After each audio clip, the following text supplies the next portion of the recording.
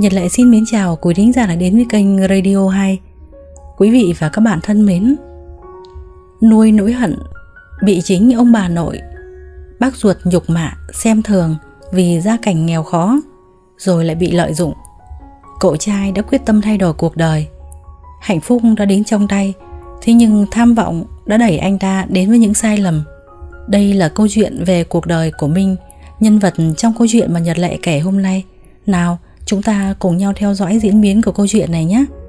Chúc quý vị và các bạn có những giây phút nghe chuyện thật thoải mái và đừng quên ủng hộ Nhật Lệ và ekip của chương trình bằng cách like, chia sẻ câu chuyện và để lại cảm xúc suy nghĩ của mình về câu chuyện ở phần bình luận. Quý vị và các bạn nhé. Minh nằm trong căn phòng chật trội kín mít, không một kẽ hở. Cái bóng đèn vàng tỏa ra, thứ ánh sáng hắt hiu nhờ nhợ những cơn đau từ dạ dày ập đến, Ngày một dữ dội. Mình cuộn trọn người như con tôm. Cố đè phần bụng đang loét trầm trọng Đến mức bác sĩ cũng phải bó tay. Nín nhịn chịu đau. Mình đã uống gấp đôi thuốc giảm đau. Thuốc dạ dày cũng đã uống, Nhưng không ăn thua. Bác sĩ chẩn đoán Minh bị ung thư Dạ dày đã bục Có cứu chữa cũng vô dụng. Máu trong người nhiễm trùng. Khu vực hoại tử đã không còn khả năng kiểm soát. Thứ chờ đợi Minh là bóng tối dày đặc, là cái chết đã sát bên mép giường. Đầu óc Minh ổ đi, cơ thể cảm thấy từng cơn tê dại ớn lạnh. Chân tay không còn động đậy được nữa, chỉ có ký ức là hiện về một cách rõ ràng, giống như một thước phim tua chậm. Từng người, từng sự việc đã xảy ra hiện hữu ngay trước mắt, như một bản kiểm điểm được lật lại cho Minh. Chở Minh đồng ý ký tên vào đó. Mình nhớ lại quãng thời gian thơ ấu, nhớ tới bố, nhớ tới lần cuối cùng còn được trông thấy ông, ấy vậy mà đã ba mươi mấy năm trời. Vào đầu những năm 1996, đàn ông trưởng thành hầu hết đều làm việc cho những mỏ đá, lò nung vôi. Không thì cũng buôn bán bên mé sông, kinh tế đang vào độ phát triển. Người người, nhà nhà tăng gia sản xuất, phụ nữ ở nhà lo việc đồng áng, chăn nuôi, đàn ông đi làm thuê, trở thành trụ cột kinh tế chính trong gia đình, trẻ em nô nước đến trường, quả là một bức tranh về một cuộc sống tươi sáng. Ông Hào cùng mấy người bạn đồng niên kéo nhau đi làm công nhân ở mỏ đá gần nhà. Ông chủ mỏ là người Quảng Ninh, lắm của nên thầu đứt cả quả núi rồi thuê công nhân về làm.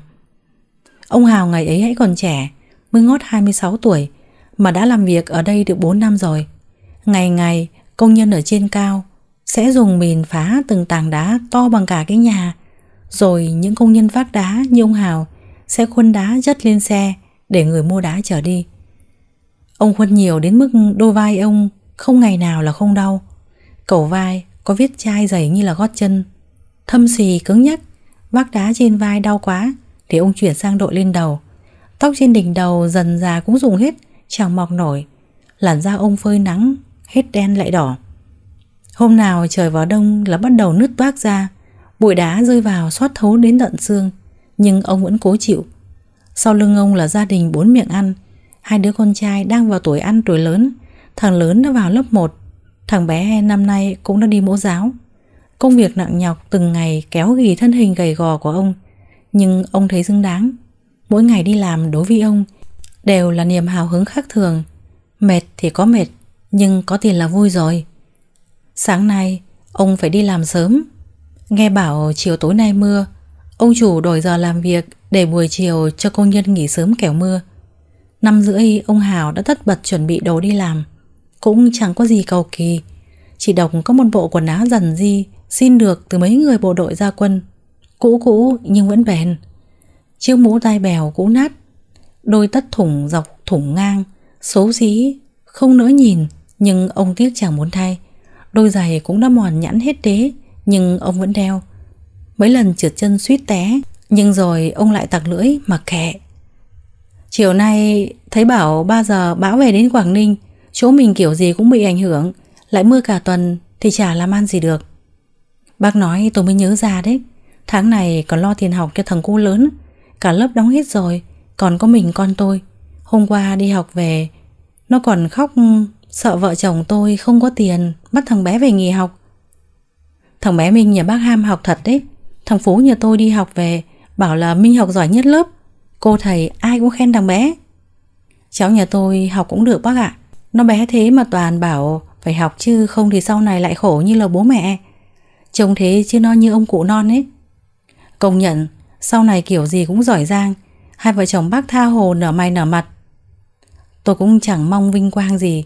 Chỉ mong chúng nó khỏe mạnh, Bình an là được, Chứ mình sống được mãi đâu Mà mong phú với giờ quý. Phải sống mà hưởng phúc chứ. Cái bác này cứ nói vậy. Bác làm lụng vất vả thế này nuôi con cơ mà. Sau này á, Chúng nó mà láo Là vẫn cứ phải đánh đòn. 6 giờ sáng, Hai cái bóng thoăn thoắt bước nhanh về phía trước, Nơi mặt trời vừa mới ló dạng.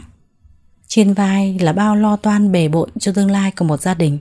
Trưa nay Đội công nhân chuyển đá làm, Gần như thông cả buổi, Không nghỉ ngơi chút nào. Ông chủ máng Đứng trong cái lán ăn cơm, Trò chuyện gì đó với bên chủ mua đá.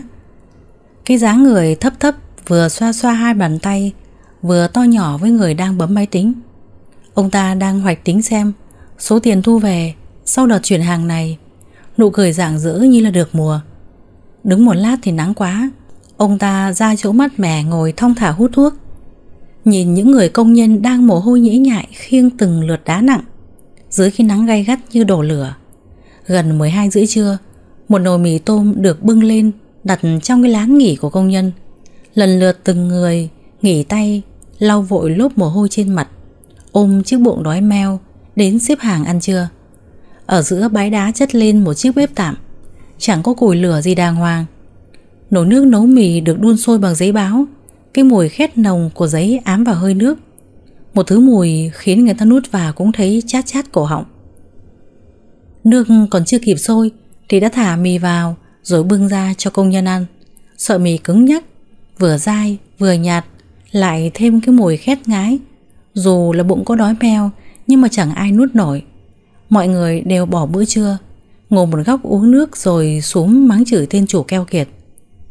Mắng thì mắng vậy thôi nhưng chẳng ai bỏ việc. Họ nghỉ một lát rồi lại đứng dậy tiếp tục làm. Gần 3 giờ chiều, bầu trời vẫn nắng trang trang. Đột nhiên nổi lên từ trận gió lớn, chẳng mấy chốc bầu trời đã đen kịt. Công nhân hô hào nhau nghỉ làm, kéo xuống dưới lán để điểm danh chuẩn bị về. Ông Hào nghe tiếng mọi người gọi láo nháo. Ông quay lên gọi mấy công nhân còn lại đi về cùng. Một người trong số đó còn đang loay hoay lay tảng đá to bị kẹt. Ở trên ấy gió to. Cứ phần phật phần phật. Tai ông ấy ù ù nên là không nghe thấy tiếng ông Hào gọi. Ông Hào sốt ruột nên quyết định leo lên để gọi bạn. Ai ngờ, đúng lúc tảng đá kia lung lay, Rồi lăn luôn xuống dưới. Ông Hào đứng ngay đó, Chỉ kịp thấy tảng đá lao đến. Chân tay cứng đờ không nhúc nhích nổi. Mãi đi khi tảng đá cách chỗ ông đứng khoảng 5 mét, Thì ông mới vội vã Nhảy nép sang một bên. Bị dọa cho hú vía. Mặt mũi ông xanh lè, Cắt không còn một giọt máu. Còn đang định quay lại mắng cho ông bạn kia một trận Cho bó tức. Thì từ trên đỉnh núi, Liên tiếp những tảng đá lớn Giống như những ngôi nhà cứ thế đổ ập xuống, Vùi lấp tất cả. Ông Hào biết lúc này chạy cũng không kịp nữa. Ông ngửa mặt lên trời, Nhìn bầu trời xám xịt, Đột nhiên nổ một tiếng ầm. Tia sét sáng choang rạch đôi bầu trời. Tia sét kia giống như giáng xuống ngay dưới chân ông. Khi từng tảng đá xô tới, ông Hào chỉ còn biết nằm dạp xuống. Trọng lực lớn không thể tả đè nặng lên ông. Ông thấy đau, quá đau, ông ngửi thấy mùi máu lan tràn trong miệng. Cổ họng nghẹn lại không thở được. Tai ông không nghe thấy gì nữa. Sự sống của ông cũng như ngọn đèn trước gió, phấp phới những giây cuối cùng rồi tắt hẳn. Bà Hậu hái cả buổi chiều cũng được đôi chục mớ rau muống. Mai mưa bão khéo khi là ít người đi hái rau, bà tranh thủ ra cái ao nước gần nhà để rửa qua bụi đất. Xếp gọn gàng vào quang gánh để mai gánh đi chợ bán sớm. Hai đứa con ngồi ngay trên bờ chờ mẹ làm xong thì cùng về. Minh chạy đằng trước, vừa chạy vừa ngoái lại nhìn cậu em nhỏ đang cười khúc khích đuổi theo anh. Anh Minh, anh Minh ơi đợi em với. Quyết chân ngắn quá, đuổi không kịp thì cho em về một mình. Không đâu, anh Minh đợi Quyết. Hai anh em cứ đuổi nhau quanh cánh rau của mẹ. Tiếng cười giòn tan như cái nắng ngày hè. Bà Hậu vừa làm, Vừa ngước lên nhìn hai cậu con trai Thi thoảng nhắc nhở hai anh em vài ba câu Rồi lại luôn tay luôn chân Ba mẹ con về đến nhà Thì trời cũng tối đen Gió bão gào thét trên mái nhà Bà Hậu phải chạy đi Bật mấy cái bóng đèn sợi đốt màu vàng lên Thì mới thấy lối mà đi. Trời tối rồi, Yêu quái tới bắt em quyết. Anh Minh hư, Bắt anh Minh Anh Minh chia quyết. Nào, hai đứa đi vào trong nhà ngồi đi, Ngồi ngoài cửa gió cuốn bụi bay vào mắt bây giờ. Mẹ cho con ngồi đây đi, Con ngắm trời bão, Gió to quá, Bão tới đầu làng rồi, vui quá. Bão thì có gì mà vui, Không khéo gió thổi to bay mất mái nhà. Cho hai anh em ra ngoài sân ngủ đấy. Nhưng trời mát thì quyết ngủ ngon. Bố có con mãi mà chưa về, Sao bảo hôm nay về sớm cơ mà? Lát nữa mưa to về thế nào được? Bà Hậu đang lối húi, Mồi lửa đun sôi ấm nước, Để lát nữa pha với nước lạnh tắm cho hai anh em. Minh vẫn quyết cùng với em trai ngồi ở ngoài hiên, Chăm chú, nhìn từng chiếc lá hay là miếng ni lông bị gió thổi tung lên cao. Còn đang ngồi mải mê quan sát thì một tiếng sét nổ đoàn. Bầu trời sáng còn hơn ban ngày kèm theo âm thanh cực lớn khiến Quyết sợ hãi lao vào lòng anh. Minh ôm chặt em trai rồi cũng sợ hãi khóc to. Bà Hậu đang chuẩn bị nhặt rau nấu cơm thì nghe tiếng sấm bà chạy lên hiên ôm cả hai con vào trong nhà. Đấy, mẹ đã bảo rồi dẫn nhau vào nhà ngồi để mẹ con làm giờ đã biết sợ chưa? Mẹ ơi, vừa nãy có xét nổ to lắm. Nổ vào ngọn núi chỗ bố làm việc ấy. Minh vừa nói vừa chỉ vào quả núi ở phía xa xa. Từ ngày Minh còn bé Bà Hậu đã hay chỉ cho cậu thấy chỗ đó. Nói đấy là nơi bố của Minh làm việc. Cậu chưa từng đặt chân đến đó Nhưng cứ chiều tối Là lại đứng ngoài sân nhìn ra Trong lòng đoán già đoán non Liệu có thể nhìn thấy bố ở đó không? Liệu bố ở đó có trông thấy Minh đang ở đây không? Bà Hậu biết con đang sợ lắm. Bà ôm hai anh em để ngồi trên ghế. Bà cố chấn an chúng. Không phải thế đâu, Xét đánh chỗ cuối chân trời ấy Không phải là đánh lên cho bố con làm đâu. Giờ bố sắp về đến nhà rồi. Hai anh em ngồi đây chơi thêm một lát nữa là bố về. Ngoan nhé Minh gật gật đầu, Nhưng cậu vẫn sợ lắm. Rõ ràng lúc ấy, Cậu thấy xét kia xẹt ngang rất nhanh, Rồi dường như đánh xuống đỉnh ngọn núi kia.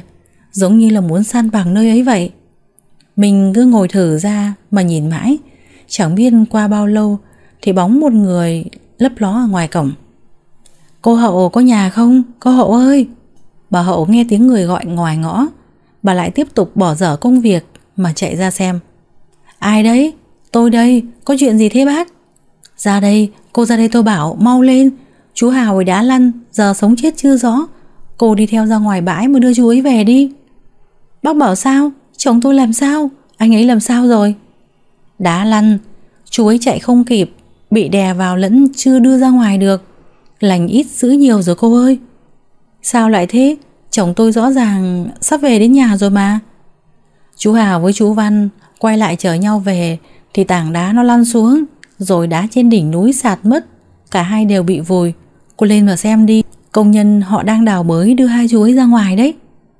Bà Hậu đôi mắt mờ mịt Bà loạn trạng bước theo người nọ Đôi chân cứ đi được vài bước lại khuỵu xuống Minh nghe người kia nói câu được, câu mất. Cậu cũng còn nhỏ, nhiều điều người lớn nói cậu còn chưa hiểu hết.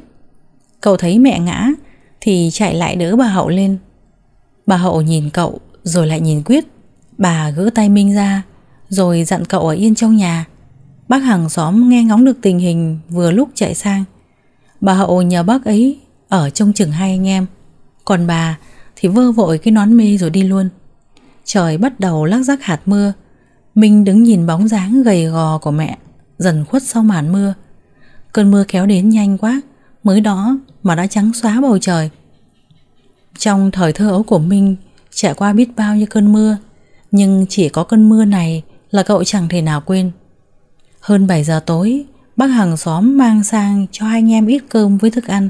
Dùng hai đứa ăn nhanh Không cần chờ bố mẹ Mình không biết bố mẹ đang ở đâu Quyết tò mò, cứ hỏi mãi mà cô hàng xóm cũng chẳng biết phải trả lời thế nào. Đến 7 giờ tối, bầu trời vẫn vần vũ những đám mây đen kịt. Bầu trời giống như muốn sụp đổ ngay xuống khoảng sân nhỏ. Bao nhiêu là người cùng ùa vào sân nhà Minh. Có tiếng nói, có tiếng khóc, có tiếng gào, trông ai ai cũng khẩn trương. Mọi người bảo bố Minh bị đá đè, mãi mới đưa được ông lên khỏi đống đổ nát. Tảng đá đè chặt khiến bố đau, xương cốt nát vụn. Ông mất đi cùng với một người nữa, đó là bố của Phú. Ngày ấy anh em Minh vẫn còn nhỏ, Minh không nhớ được lúc ấy mọi việc diễn ra thế nào, chỉ nhớ ngôi nhà nhỏ căng dạp mấy ngày trời. Người ra người vào tấp nập, mẹ thì ngất xỉu bao lần. Em quyết ngây ngô, chỉ biết nhìn ngang nhìn dọc, còn trong lòng Minh thì hoang mang đến vô cùng.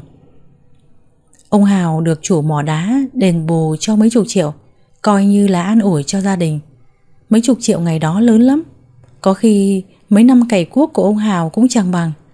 Ông chủ đến thắp cho ông Hào nén nhang, nói đôi ba câu chia buồn, rồi để tiền trên bàn, rồi sau đó xin phép ra về. Suy cho cùng, sự mất mát này cũng không thể quy trách nhiệm cho ai. Âu cũng là cái số. Người ta làm vậy coi như cũng là có tình có nghĩa. Người trong nhà còn đang cảm động trước việc làm của ông chủ mỏ đá. Chỉ có Minh là nhìn thấy vẻ mặt cau có của ông ta lúc quay người bước ra. Giống như được thôi thúc, Minh lặng lẽ đi theo sau ông ta. Khi ra đến ngoài ngõ thì ông ta dừng lại. Mẹ nào chứ, một lữ rắc rối, chỉ biết tiêu tiền của tao. Lão ta mà không chết thì tao tiết kiệm được ối tiền.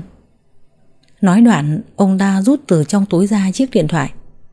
Alo, bên đấy tình hình thế nào rồi? Ừ, cứ vậy mà làm. Bên đây ta cũng vừa mới vào thắp hương xong. Mẹ nó, một lũ ham tiền. Thấy tiền ta mang sang là mắt sáng rỡ cả lên. Thì bọn dân đen cứ cho mấy đồng tiền là xong chuyện hết mà. May mà bọn mình mang tiền sang sớm Nếu không thì chính quyền cấm tiệt cái mỏ đá ấy Thì chết đói cả lũ Tao là tao sợ chúng nó lại dùng beng lên. Chính quyền dạo này làm căng mấy vụ an toàn lao động lắm. Họ mà biết mình trang bị không cẩn thận Là họ túm cả lũ. Lúc ấy có mấy chục triệu cũng chẳng cứu được cơ nghiệp này. Nghe đến đây, Minh như hiểu được lý do Vì sao hôm nay ông chủ lại tìm sang đến tận đây, Tỏ thành ý như vậy. Hóa ra ông ta cũng không thương xót gì cho gia đình Minh. Là ông ta sợ chính quyền phát hiện ra sự thiếu an toàn lao động Trong công tác quản lý của khu mỏ đá. Ông ta tìm đến đây là để chặn họng trước tất cả. Hóa ra lũ cô tiền, ai cũng đều như nhau hết. Không ai trân trọng mạng sống con người, Chỉ biết nghĩ cho lợi ích của chính mình. Minh dù sao cũng chỉ là một đứa nhỏ. Ngoài việc cậu chỉ căm ghét cái thái độ của ông ta, Cậu không làm được gì hết. Rõ ràng, mới lúc nãy thôi Ông ta còn tỏ ra là một người hiểu chuyện. Vậy mà chỉ trong tích tắc, Ông ta đã khinh miệt Xem thường gia đình của Minh. Từ thời điểm đó trở đi, Trong đầu Minh xuất hiện những suy nghĩ căm ghét những kẻ giàu có. Cậu bé cho rằng ai giàu có thì cũng đều như vậy, Đều xem thường người nghèo khổ, Giống như gia đình cậu. Cầm số tiền mấy chục triệu trong tay, rồi lại nhìn sang hai đứa con vẫn còn ngây dại. Bà Hậu lặng lẽ chảy nước mắt. Đây là số tiền mà chồng bà đã phải dùng cả mạng sống để đánh đổi Liệu sau này khi con cái của bà lớn lên Chúng có hiểu được những điều này Chúng có còn nhớ đến những hy sinh của hai vợ chồng bà hay không? Đến cả bên đằng nội của ông Hào Ngày sau khi biết tin con dâu cầm được số tiền đó trong tay Họ lập tức tìm đến nhà Những người mà đã chục năm nay không từng thấy mặt, đến nay lại muốn nhận lại hai anh em mình. Tiền của thằng Hào cứ để ở chỗ tôi, đây là tiền bố nó để lại cho hai đứa con. Cô giữ để làm cái gì? Biết đâu được một thời gian nữa cô lại đem đi cho cha thì sao? Mẹ, mẹ nói như thế mà nghe được sao? Đây là tiền mồ hôi xương máu, tiền chồng con đổi bằng mạng sống của mình mà mẹ nữ cho rằng con như vậy. Bao nhiêu năm nay vợ chồng con cưới nhau dù có đói khổ thế nào Cũng chưa từng quay về xin mẹ một đồng Tiền này dù mẹ có nói thế nào con cũng sẽ nhất quyết không đưa cho mẹ đâu. Đây là của bố thằng Minh. Thằng Quyết để lại cho anh em chúng nó. Chúng con tự có dự định của mình. Mong mẹ đừng can dự tới. Mày... Mày giỏi quá rồi. Mày không xem lời của tao ra gì nữa. Tao ít nhiều gì cũng là người đẻ ra thằng Hào Mà mày dám ăn nói với tao thế hả? Nếu mày đã nói vậy Thì chia đôi ra. Ta một nửa, chúng nó một nửa. Công tao nuôi nó bao nhiêu năm Chẳng lẽ tao không được hưởng chút nào? Cuối cùng mục đích mẹ đến đây cũng chỉ vì tiền bạc chứ không có thương xót gì mẹ con chúng con hết. Nếu mẹ đã nói vậy thì con xin chịu. Tiền của vợ chồng con vẫn ở đây. Bây giờ mẹ lấy đi, coi như con thay chồng con trả ơn nuôi dưỡng cho mẹ. Mong mẹ nhận tiền rồi thì đừng đến làm phiền mẹ con của con nữa. Mày tưởng mấy đồng bạc lẻ của mày mà đuổi được tao hả? Thằng Minh, thằng Quyết vẫn là cháu nội của tao. Mày đừng hòng mà ngăn cách chúng tao. Nếu mẹ đã thương hai cháu như thế Vậy sao bao năm trời Mẹ chưa một lần tới gặp các cháu? Tại sao đến khi chồng con mất đi Người ta mang tiền đền bù đến Thì mẹ lại tới đòi nhận tụi nó? Còn con Sống với chồng con bao nhiêu năm nay Chưa từng thẹn với lòng Trời biết, đất biết. Anh ấy mất đi Bản thân con cũng không thiết tha gì nữa. Nhưng coi như là vì các con của con Con mong mẹ đừng đến đây làm phiền gia đình của con nữa. Hãy để chúng con sống bình yên được không mẹ Mày nói nghe thì hay lắm. Để tao xem, Mày cứ ở vậy được bao lâu, Rồi chả mấy mà lại theo thằng khác. Cháu tao có mà ra đường. Bà lão tuyên bố vì cháu là thế, Nhưng cũng chỉ chờ đợi đến khi con dâu vừa mới chia xong số tiền ra làm hai phần. Bà ta lập tức đếm đi đếm lại thật kỹ, Rồi cầm tiền bỏ đi. Một nương chẳng thèm quay đầu lại. Bà lão sinh đến gần 10 người con. Duy chỉ có ông Hào là nghèo nhất. Hai vợ chồng ông chân chất thật thà, Quanh năm làm bạn với đồng ruộng. Kiếm được bao nhiêu để lo cho con cái hết, Nên cũng chẳng dư giả Anh em của ông, Người thì đi buôn, Người làm ông chủ nên có đồng ra đồng vào. Thi thoảng đem biếu bà cụ một ít, Nên là bà cụ quý lắm. Con người mà, Biết bao nhiêu cho đủ, Bà cụ cũng chẳng còn cần đến đứa con. Không tức đất cắm rùi như là ông Hào nữa. Hai vợ chồng ông lấy nhau ngót một chục năm. Có hai mặt con, Nhưng chẳng ai ngó ngàng. Nhiều khi lễ Tết về nhà sum vầy với anh em, Thì cũng phải lặng lẽ ngồi dưới bếp ăn cơm. Nhiều lúc ông Hào nhìn cảnh đó Mà thương vợ thương con đến rơi nước mắt. Ông tủ lòng mà nghĩ, Gia đình đối với ông Không còn là nơi để trở về nữa. Vậy mà những kẻ đó giờ đây Thấy có tiền thì tới để kiếm trác Đến một giọt nước mắt thương xót cũng không rơi. Anh em Minh làm sao mà hiểu được những điều ấy? Giờ đây, Cậu chỉ căm ghét tên chủ mỏ kia, Nỗi căm ghét cứ nhiều dần, Ám ảnh cậu cả trong những giấc mơ. Minh càng lớn, Thì cậu cũng dần hiểu ra khoảng cách Giữa một đứa trẻ bình thường Với một đứa trẻ mồ côi Giống như cậu lên đến mức nào. Cậu càng ngày càng ít nói, Càng ngày càng thu mình. Bà Hậu thì lo toan nhiều việc Vừa lo việc đồng áng, Bà còn mở thêm một quầy bán đồ ăn mang về. Sạp hàng nhỏ cũng không có gì nhiều. Vài khúc cá kho, Nồi canh rau Với ít chả nem bà tự làm. Xung quanh có nhiều gia đình bận rộn công việc, Đều sẽ qua mua thức ăn ủng hộ mẹ con bà. Mình đi học về rảnh, Sẽ phụ mẹ việc nhà, Dọn hàng cho mẹ, Rồi trông em. Chẳng biết từ khi nào, Minh dần trưởng thành bên gánh hàng của mẹ. Niềm khát khao đổi đời trong cậu cũng lớn dần theo năm tháng. Năm Minh học lớp 9 Thì có một sự kiện xảy ra Đã tạo nên bước ngoặt lớn trong cuộc đời của cậu. Bà Hậu dùng số tiền đền bù còn lại của ông Hào Để mua một mảnh đất nhỏ. Bà lo đến khi hai anh em Minh đến tuổi kết hôn, cần ra ở riêng. Bà muốn cho hai cậu con trai hai chỗ Để sau này dựng nhà, dựng cửa. Vậy nên Bà không chần chừ nhiều mà mua được từ chỗ một người cùng làm một mảnh đất. Bao năm trôi qua, mảnh đất ấy nay lại nằm trong khu dân cư đông đúc. Lại là đất mặt tiền. Giá trị mảnh đất nay đã gấp nhiều lần ngày xưa, nên bà Hậu mừng lắm. Không ngờ vận may như vậy lại tới. Những người ưng ý mảnh đất này không chỉ có mình bà. Người anh trai ruột của ông Hào là ông Chiến, bao năm buôn bán ngoài cảng nên là giàu có lắm. Vài năm nay, mở liền mấy xưởng gia công quần áo, trước mắt đang muốn tậu mấy mảnh đất có tiềm năng để mở rộng sản xuất. Ông ta ngắm trúng mảnh đất trong tay bà Hậu. Bao năm không gặp, nay lại tìm đến tận nhà để đặt vấn đề muốn mua lại. Dĩ nhiên, bà Hậu không đồng ý. Bán đi rồi, dễ gì mà mua lại được một mảnh đẹp như vậy. Vừa gần chỗ ở hiện tại, vừa có vị trí tốt, Hiện tại xung quanh đã có chợ, có trường học, bà còn nghe mọi người đồn còn sắp mở thêm một trường mầm non, trạm xá cũng sắp chuyển ngay đến đó. Ông Chiến khuyên nhủ mãi không được, Nhưng cũng không đành lòng từ bỏ. Ông ta chuyển hướng từ bà Hậu sang anh em Minh Cô Quyết mới học lớp 6 Còn là lứa trẻ con chưa hiểu chuyện. Ông ta không nói chuyện với Quyết Nhưng Minh trông thấy ông ta có ô tô Quần áo là lượt Nên là cậu thích lắm. Nhưng ân oán xa cách từ ngày xưa, Đâu có ảnh hưởng gì đến cậu. Thành ra Minh tỏ ra ngoan ngoãn lễ phép trước mặt ông ta. Ông Chiến hài lòng lắm.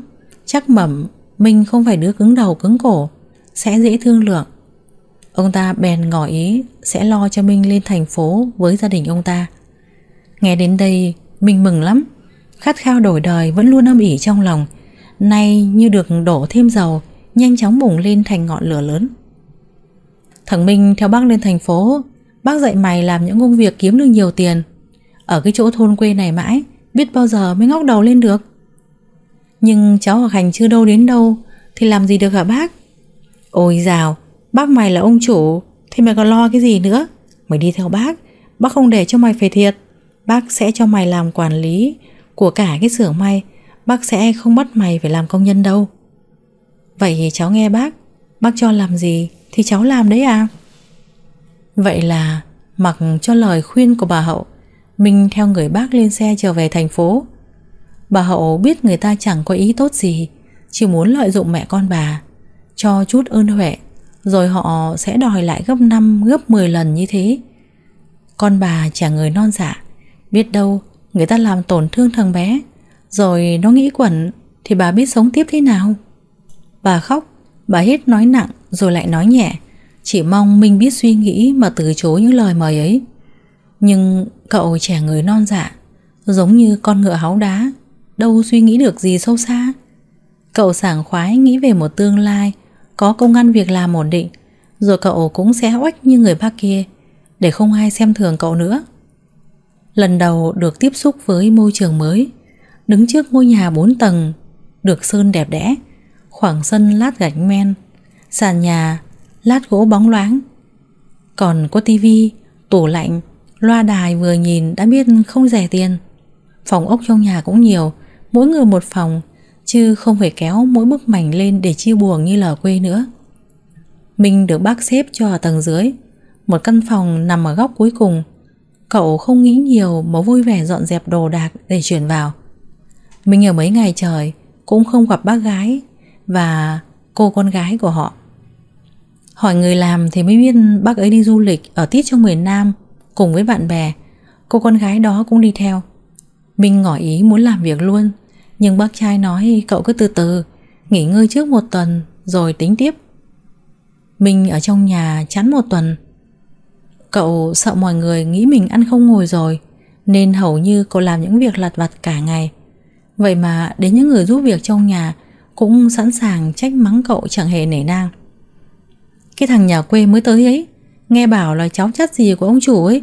Nó cứ ngu nga ngu ngơ. Sáng nay loay hoay mãi Mới mở được cổng để ông chủ đi làm. Tôi thấy ông chủ chán ghét nó lắm. Lúc ấy tức đến nỗi suýt chửi nó Mà cố kìm lại. Long nga long ngóng, Chẳng biết ông chủ mang nó lên đây để làm gì. Gớm, cô đừng nói thế. Trông vậy chứ dạy vài lần là nó biết. Các cô đừng có bắt nạt nó. Kẻo, nó mách ông chủ thì lại mệt. Tôi nghe thấy nó mấy lần Đòi ông chủ cho ra xưởng may làm quản lý đấy. Ôi, thật á, Đúng là bọn nhà quê, Thấy sang bắt quàng làm họ, Lại còn đòi làm quản lý cơ đấy. Chữ thì còn học chưa xong, Đã đánh đeo theo người ta, Giờ còn đòi làm sếp, Còn lâu ông chủ mới cho nó tới đấy làm. Tôi cũng nghĩ thế đấy, Nhưng không biết sao ông ấy lại mang thằng bé đó đến đây. Hay là để nó làm việc nhà thay bọn mình? Thôi chết, Nó mà ở đây, Có khi chúng mình lại mất việc cũng nên. Minh ôm giỏ quần áo bẩn, Chuẩn bị đi giặt. Đi qua nhà bếp Thì nghe được hai người giúp việc đang nói xấu mình. Lời họ nói Giống như những con bọ, Bò lồng nhồng trong lỗ tai, Khiến mình vô cùng khó chịu. Họ dám xem thường cậu. Họ nói, cậu học còn chưa xong, Chỉ xứng làm người giúp việc giống như họ. Danh dự của cậu thiếu niên cao như núi, Dễ gì mà cậu chấp nhận được? Minh ôm một bụng tức, Bỏ giỏ đồ lại Rồi hùng hổ đi tìm bác để nói mọi chuyện. Mong bác đứng về phía mình, Trả lại mặt mũi cho cậu. Vừa quay bước định đi lên tầng, Thì Minh đã thấy bác trai mừng rỡ, Đi từ trên cầu thang xuống. Lướt nhanh qua cậu, Rồi dừng bên chiếc ô tô vừa đỗ ở trong sân. Ôi, hai mẹ con về rồi đi hả? Nhớ muốn chết. Nào, con gái lại đây cho bố xem nào. Chà, Đi chơi vui quá, sóc quên bố mất rồi kìa. Cô con gái vui mừng ôm lấy cổ bố. Chiếc váy xinh xắn màu vàng mỡ gà, Với mấy lớp vải van bay bay trong làn nắng, Xinh đẹp tựa như là tiên nữ. Cô chị gái này chưa từng gặp Minh lần nào. Con bé còn chưa từng về thăm quê của bố. Không phải con bé không muốn về quê, Mà là mẹ con bé không muốn tới đó. Bác trai lấy được một người vợ thành thị giàu có. Công việc buôn bán Cũng là bên nhà vợ cấp vốn cho hai vợ chồng làm ăn. Những thứ phủ phiếm đó, Ai không biết đều khen bác trai giỏi giang, Biết kiếm nhiều tiền. Còn ai biết thì đều khinh bỉ ra mặt, Vì đó là của nhà vợ. Bác trai chỉ làm người nằm dưới gầm chạn, Một chút tiếng nói trong gia đình cũng không có. Ông còn không nhanh ôm con bé vào, Nắng đây này, Để con đứng cháy hết ra đấy. Sao mà nóng thế? Mang cái quạt cây ra đây cho tôi. Bác Chiến vừa nghe vợ cằn nhằn, Đã vội lổ đi tìm quạt cho bà. Bác gái tên là Mai, Vừa ngồi quạt, Vừa nâng cốc nước lên uống, Ánh mắt vô tình Nhìn lướt qua người Minh. Ai đây? Ông thuê đâu được bọn trẻ con này đấy? Có làm được việc không mà nhận? Tôi đi vắng mấy hôm, Chủ vắng nhà, Gà vọc niêu tôm hết rồi. Ai cho ông tự quyết đấy? Cháu chào bác Mai. Cháu là Minh, con bố Hào ạ. Hào Hào là À con chú Hào đấy hả? Hơn con gái mình một tuổi đây đúng không ông? Mà cậu lên đây chơi, Hay là làm gì đấy? Ơ kìa bà Bà theo tôi lên đây, Tôi nói với bà một chút chuyện. Nói rồi, ông Chiến bỏ lại Minh đứng ngẩn ở ngoài sảnh. Dẫn bà Mai lên phòng, Đóng cửa lại thổ thỉ ở trong đó. Ban đầu, Minh cũng không định nghe lén họ. Nhưng cậu vẫn ấm ức chuyện mấy người giúp việc ban nãy. Minh tính đứng ở ngoài cửa chờ hai bác nói chuyện xong, Thì sẽ thưa luôn. Ai ngờ cậu nghe được ông Chiến nói với bà Mai.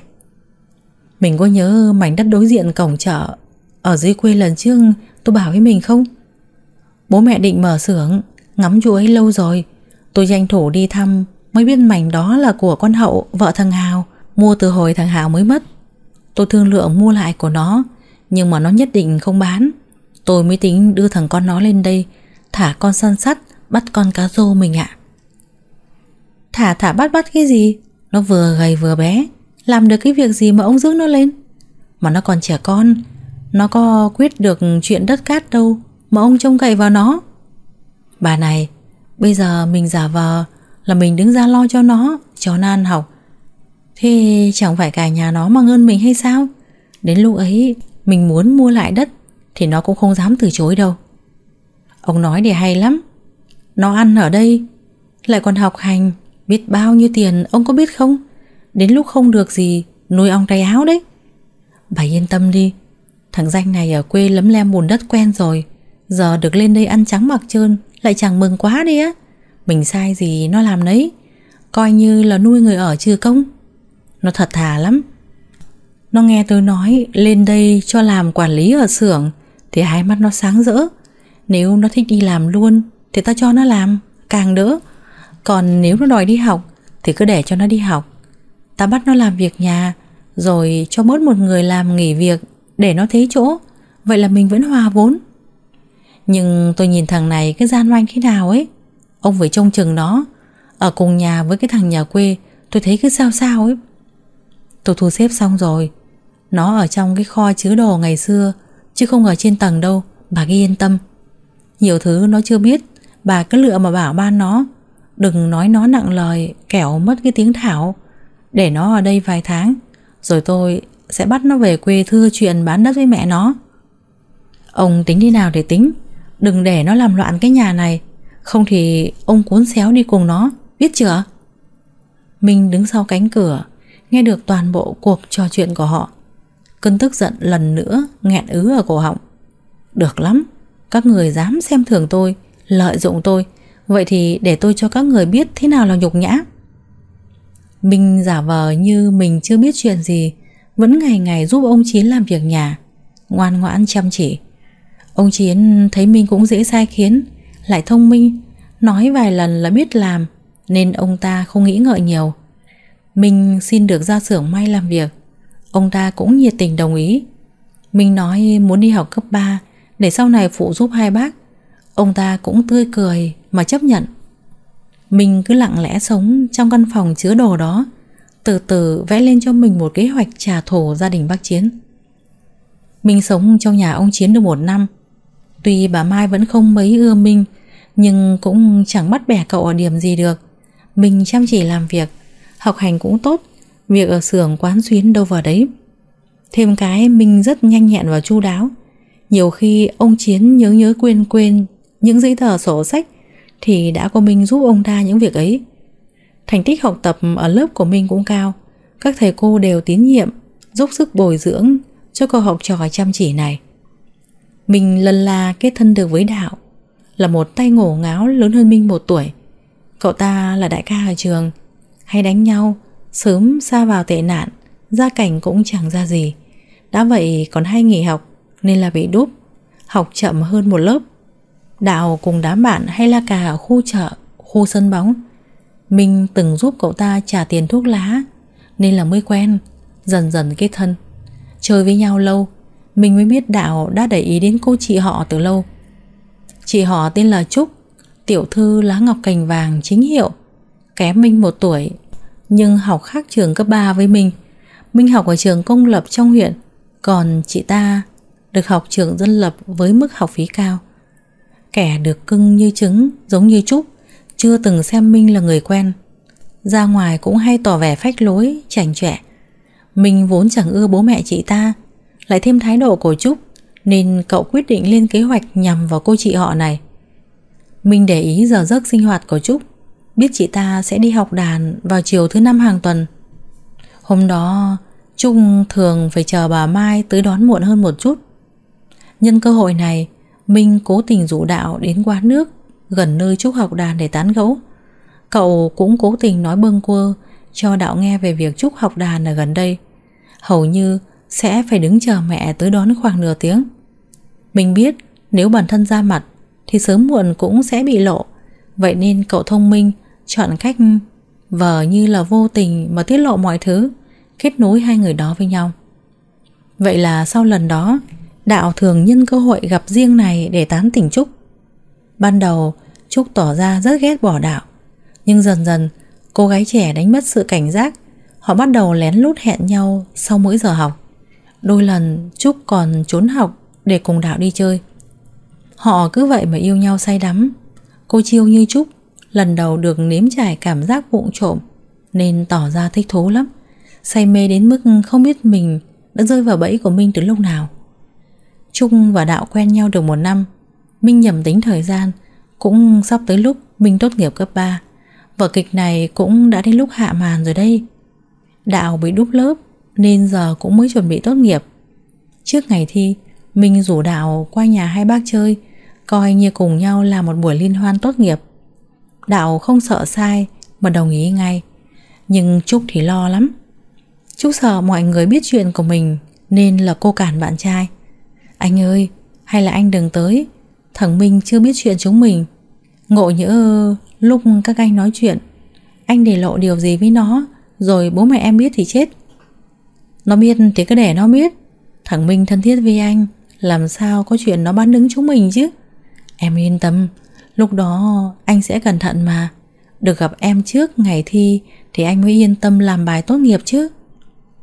Đúng như Minh dự đoán, Đào tìm đến nhà thật. Trong lúc mọi người trò chuyện, Minh vẫn tỏ ra thoải mái Như chưa hay biết điều gì. Tận cho đến khi Đạo đã uống say ngà ngà, Cậu ta lảo đảo đứng lên ra khỏi phòng. Minh biết chắc thời cơ đã đến, Cậu lặng lẽ đi theo Đạo Quả không ngoài dự đoán. Minh thấy Đạo cùng Trúc đang đứng ôm nhau ở trong góc dưới hành lang tầng 1. Hai người, hai người đang làm gì thế? Minh cố tình tỏ ra ngạc nhiên khi bắt quả tang. Trúc giật mình lùi về sau. Cô sợ mọi người biết chuyện nên ra dấu cho Minh nói nhỏ lại.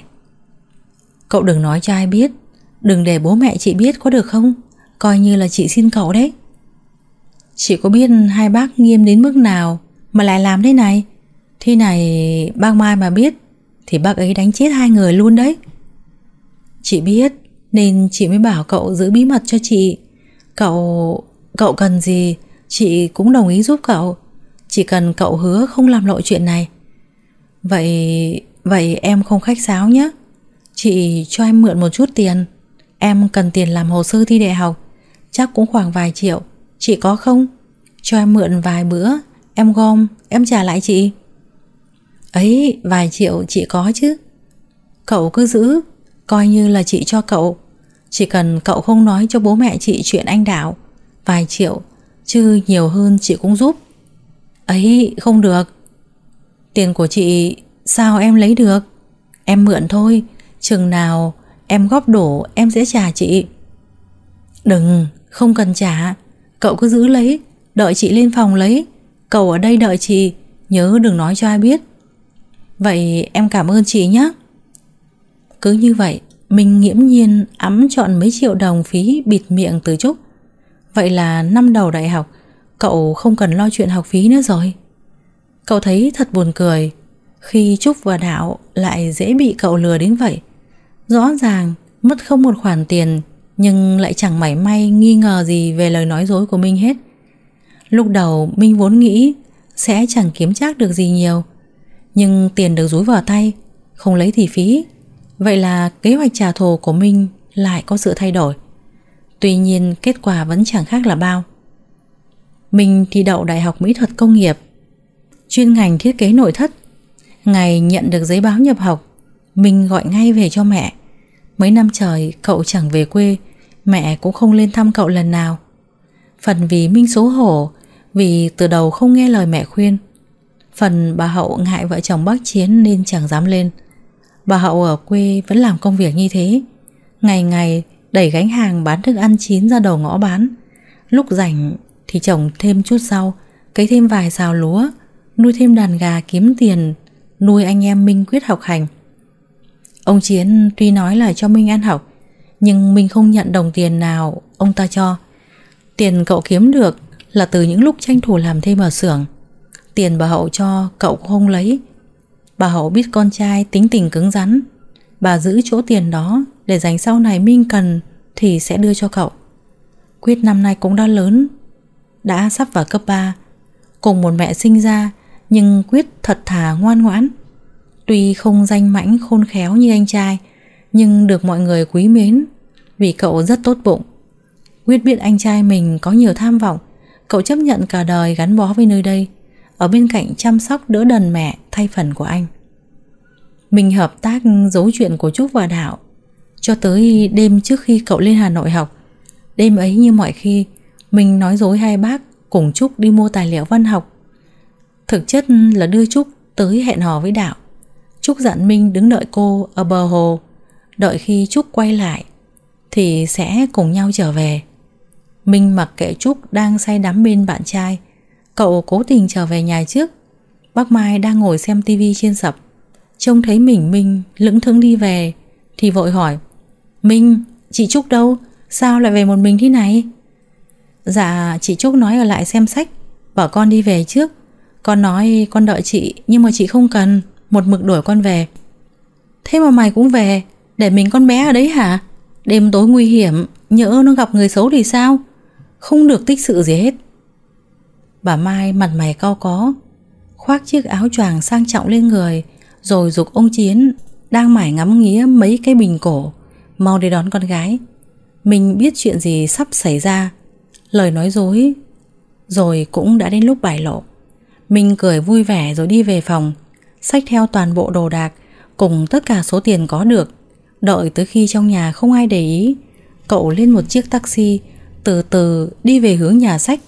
Cậu muốn trông thấy bộ dạng chật vật tan vỡ của cái gia đình đạo đức già này. Đó là kết cục cậu mong chờ suốt 3 năm qua. Mọi thứ cậu đã dày công dàn xếp, ít nhất cũng phải tới xem một chút chứ. Ông Chiến ngồi trên chiếc xe ô tô, còn đang thầm trách móc bà vợ làm lớn chuyện, phiền đến khoảng thời gian thư giãn của ông ta. Nhưng ông ta chỉ dám nghĩ thế chứ đâu dám nói ra thành lời. Vốn dĩ ông ta chẳng có tí tiếng nói nào trong gia đình Sống khúm núm thì mới có được chút danh hão. Nếu chẳng may để phật lòng vợ hay gia đình vợ thì chỉ có mất hết. Xe đi tới nhà sách, Bà Mai vội đi vào trong tìm. Tìm mãi Từ gian này sang gian khác, Nhưng cũng không thấy con gái. Bà ta bắt đầu sốt ruột. Đêm hôm rồi, con bé đi đâu được chứ? Nhỡ xảy ra chuyện gì? Bà Mai lo sốt vó. Còn đang không biết đi đâu tìm con thì thấy một thằng bé bán vé số nhanh nhang đi tới. Cô ơi, Cô mua giúp con tờ vé số. Vé vé cái quái gì? Biến đi. Phiền phức. Cô không mua thì thôi, Sao cô lại mắng con? Mày lượn đi Ta đang bực bội, Đừng để ta nổi điên lên. Ừ hay, Sao cô nói con nặng lời thế? Con ngồi đây cả ngày, Chưa gặp người khách nào khó chịu như cô. Như nghĩ ra điều gì đó, Bà Mai quay qua hỏi vội cậu bé bán vé số. Mày nói mày ngồi đây cả ngày, Vậy có trông thấy con gái tao không? Trăng trắng, Mặc váy màu hồng nhạt, Đi từ trong hiệu sách đi ra. Cháu có trông thấy, Cháu còn biết chị ấy đi đâu nữa cơ. Nhưng cô phải cho cháu chút tiền Thì cháu mới nói. Quỷ sứ, Mày mà lừa tao thì mày liệu hồn. Bà Mai móc trong túi sách mấy tờ tiền giấy, Rồi rúi cho thằng bé. Thằng bé vuốt phẳng từng tờ tiền, Đếm đếm cẩn thận rồi cất vào trong người. Khoảng gần một tiếng trước, Cháu thấy chị ấy đi vào trong hiệu sách. Có phải chị ấy trông sang trọng, Còn đeo cái băng đô màu hồng đúng không? Ừ Đúng là cái băng đô màu hồng. Rồi con bé đi đâu rồi? Cháu thấy chị ấy vào có chút xíu đã ra. Chị ấy đi cùng một anh cao cao, Gầy gầy. Hai anh chị ấy dẫn nhau ra công viên ven hồ chơi rồi. Lúc đi ra, Còn cầm tay nhau nữa. Chắc là người yêu của nhau cô ạ. Mày nói dối. Con tao có chơi bời với con trai bao giờ? Cháu nói thật mà, Cái anh đấy, Ở khu này ai mà chẳng biết. Anh Đạo chưa ai? Cháu lạ gì anh ấy nữa? Anh ấy là đầu gấu, Hay đánh nhau trong mấy quán nét. Còn hay chặn đường bọn cháu, Đòi tiền bảo kê nữa, Nên cháu biết. Dạo này cháu thấy anh ấy hay đi cùng chị gái này, Nên là cháu mới để ý đi chứ. Mày nói dối, Mày dẫn đường cho bọn tao, Nếu không phải thì đừng trách tao ác. Cậu bé bán vé số chạy một mạch cả đoạn đường dài. Tới sâu trong công viên thì dừng lại. Đây, anh chị ấy ở trong này. Cháu thấy họ vào lâu rồi mà chưa đi ra. Cô chú cứ vào trong mà tìm. Mày lừa tao đúng không? Mày cũng phải vào đấy tìm. Ấy, cháu đứng ngoài này. Cô cứ để chú này trông chừng cháu. Cháu không dám chạy đâu. Cháu vào đấy những anh chị ấy đang làm gì Thì cháu xấu hổ lắm. Bà Mai bán tín bán nghi, Để ông tài xế ở lại trông chừng cậu bé. Bà cùng ông Chiến đi vào trong. Ai ngờ, Ở một góc tối khuất người, Bà Mai tận mắt trông thấy Con gái đang ôm hôn thắm thiết Một tên thanh niên bậm trợn. Tên kia còn đang sờ soạng khắp người con gái bà, Quần áo của cả hai thì sộc sạch. Quá mức chịu đựng, Bà mặc kệ tất cả mà hét lên, Xung quanh bao nhiêu người đổ ra xem. Tới lúc này, bà mới biết xấu hổ và tát con gái mấy cái liền. Lôi sành sạch Trúc ra ngoài. Đạo thấy người yêu bị lôi đi Thì định chạy theo níu lại. Nhưng ông Chiến chỉ tay vào mặt anh ta mà chửi. Kết quả, Một trận dùm beng náo loạn cả phố đều biết. Ông Chiến đánh nhau với bạn trai của con gái. Cô con gái tưởng đâu ra giáo, Nay lại qua lại với côn đồ. Còn trốn bố mẹ vào công viên hú hí với trai. Bà Mai bình thường tỏ vẻ tao nhã sang trọng là thế. Nay đứng giữa phố mà chửi con như là phường chợ búa. Trúc ôm khuôn mặt sưng vù vì bị mẹ tát khóc nức nở. Ông Chiến bị bạn trai của con gái đấm chảy cả máu mồm. Bà Mai xấu hổ, Không biết chui vào đâu. Mình ngồi trên xe taxi, Lặng lẽ chứng kiến tất cả. Mấy chục nghìn bỏ ra thuê thằng bé bán vé số, Coi như dùng đúng người đúng việc. Xe taxi rời đi, Đưa Minh ra thẳng bến xe khách. Đi đêm lên Hà Nội. Nhà ông Chiến trên dưới náo loạn. Chẳng ai có tâm trí đâu Mà để ý đến Minh nữa. Đến khi ông Chiến nhớ đến đứa cháu này Thì đã mấy ngày sau. Lúc này Minh đã yên vị ở ký túc xá sinh viên. Hơi đâu mà quan tâm đến chuyện có gia đình đó nữa. Minh bắt đầu lao vào học và làm thêm. Nơi đây ai cũng như ai, Không ai biết gia đình Minh thế nào, Cũng không còn ai lợi dụng Xem thường cậu nữa. Minh có nhiều bạn bạn cùng lớp Bạn cùng ký túc xá Bạn cùng làm thêm Cuộc sống tuy hối hả nhưng yên bình Tham vọng của Minh Một lần nữa được thắp lên Giờ đây thông qua việc trau dồi tri thức, Minh được tiếp xúc với nhiều cơ hội hơn. Đến khi Minh học năm thứ hai thì quen với người con gái quan trọng nhất đời cậu.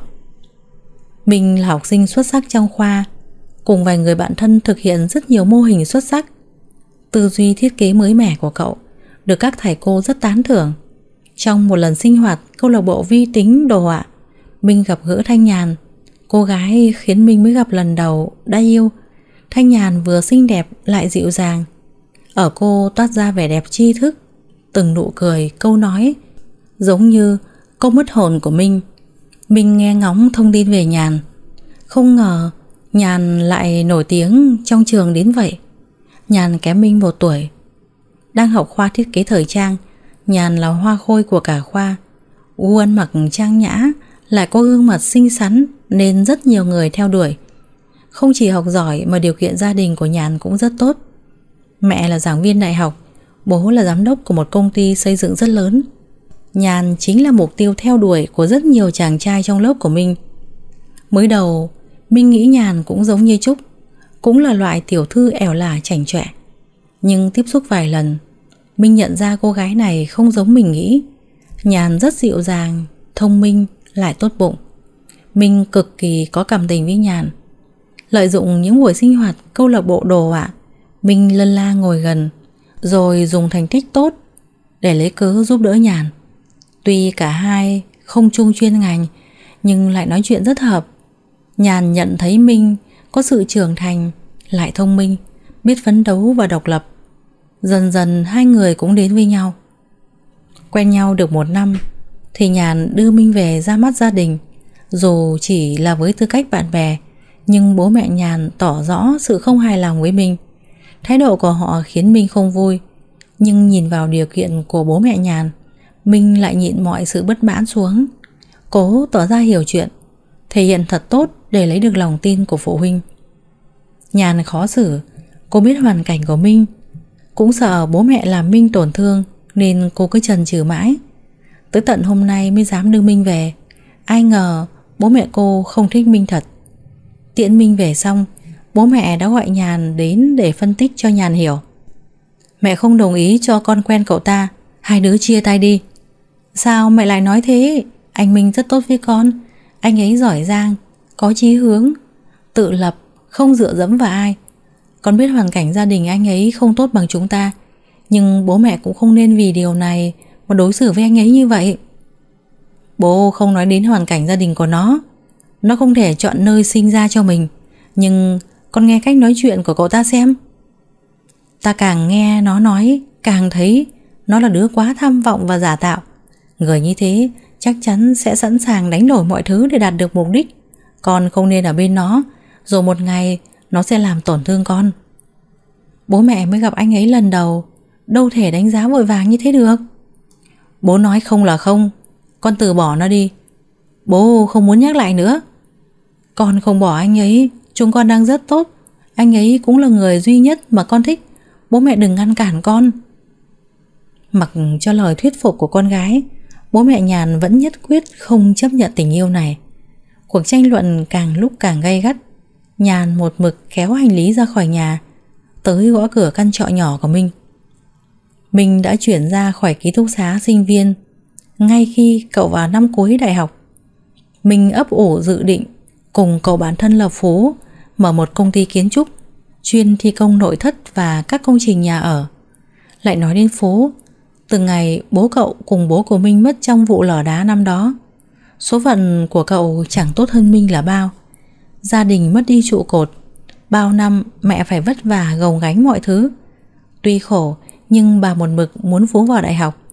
Phú học văn hóa không quá giỏi, nhưng được cái tài hội họa, nên là thi đậu một trường cao đẳng ở trên Hà Nội. Số phận đưa đẩy cho Phú và Minh gặp nhau ở một buổi hội trợ sinh viên. Cả hai giữ liên lạc, hẹn ra trường sẽ cùng nhau lập nghiệp. Thanh Nhàn kém Minh một tuổi nên vẫn còn đang học năm cuối, nay lại bỏ nhà đi, cùng Minh chung sống trong căn trọ nhỏ 20 mét vuông.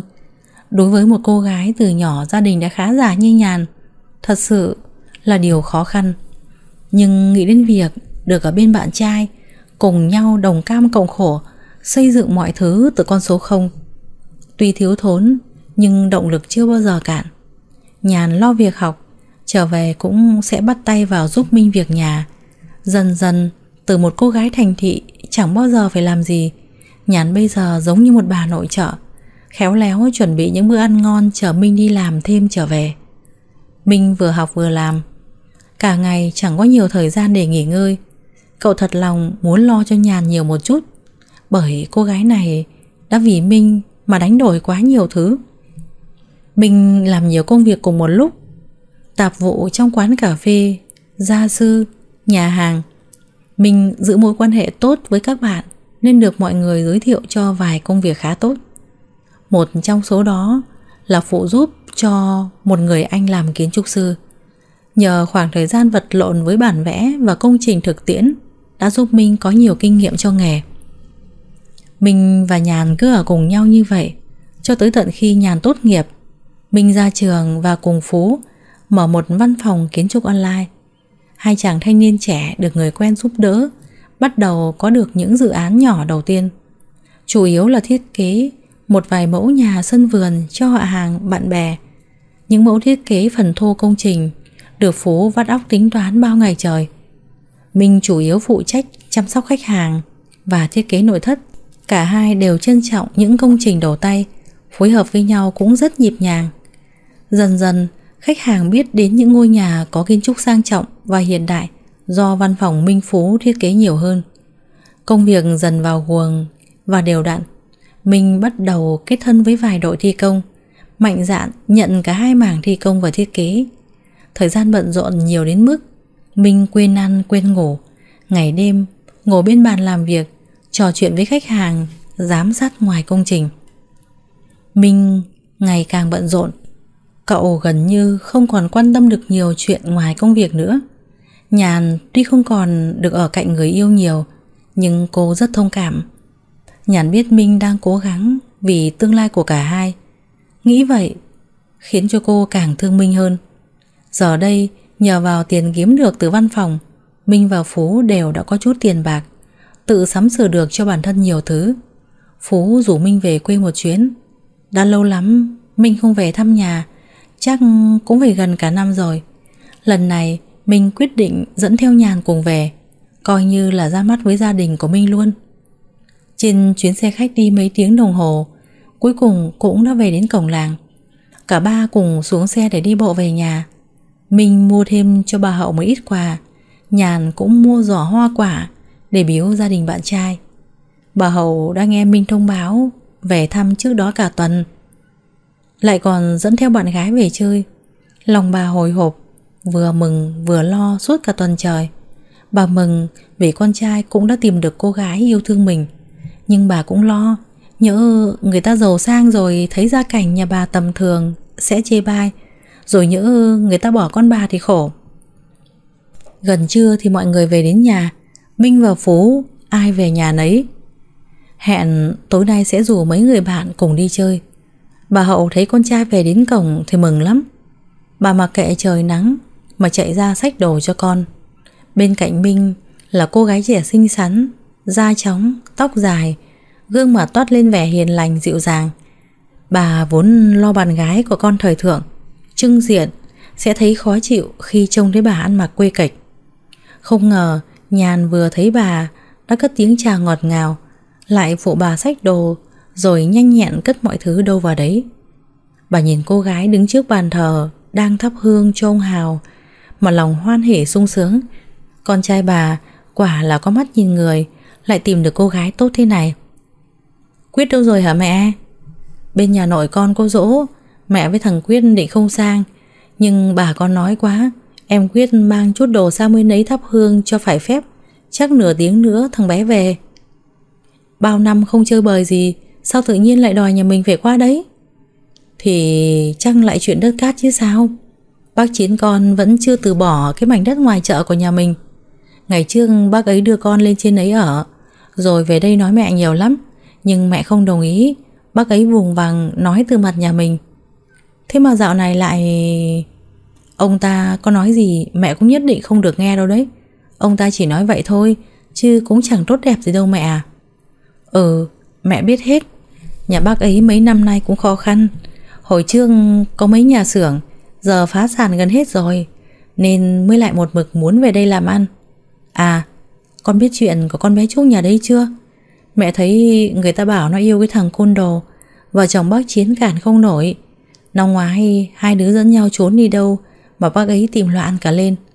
Đi được 3-4 tháng, Không kiếm ra tiền nuôi nhau, Thì lại dắt díu nhau về nhà bác ấy ăn vạ. Con bé Trúc lúc ấy còn có bầu rồi. Bác Chiến nhất quyết không cho cưới.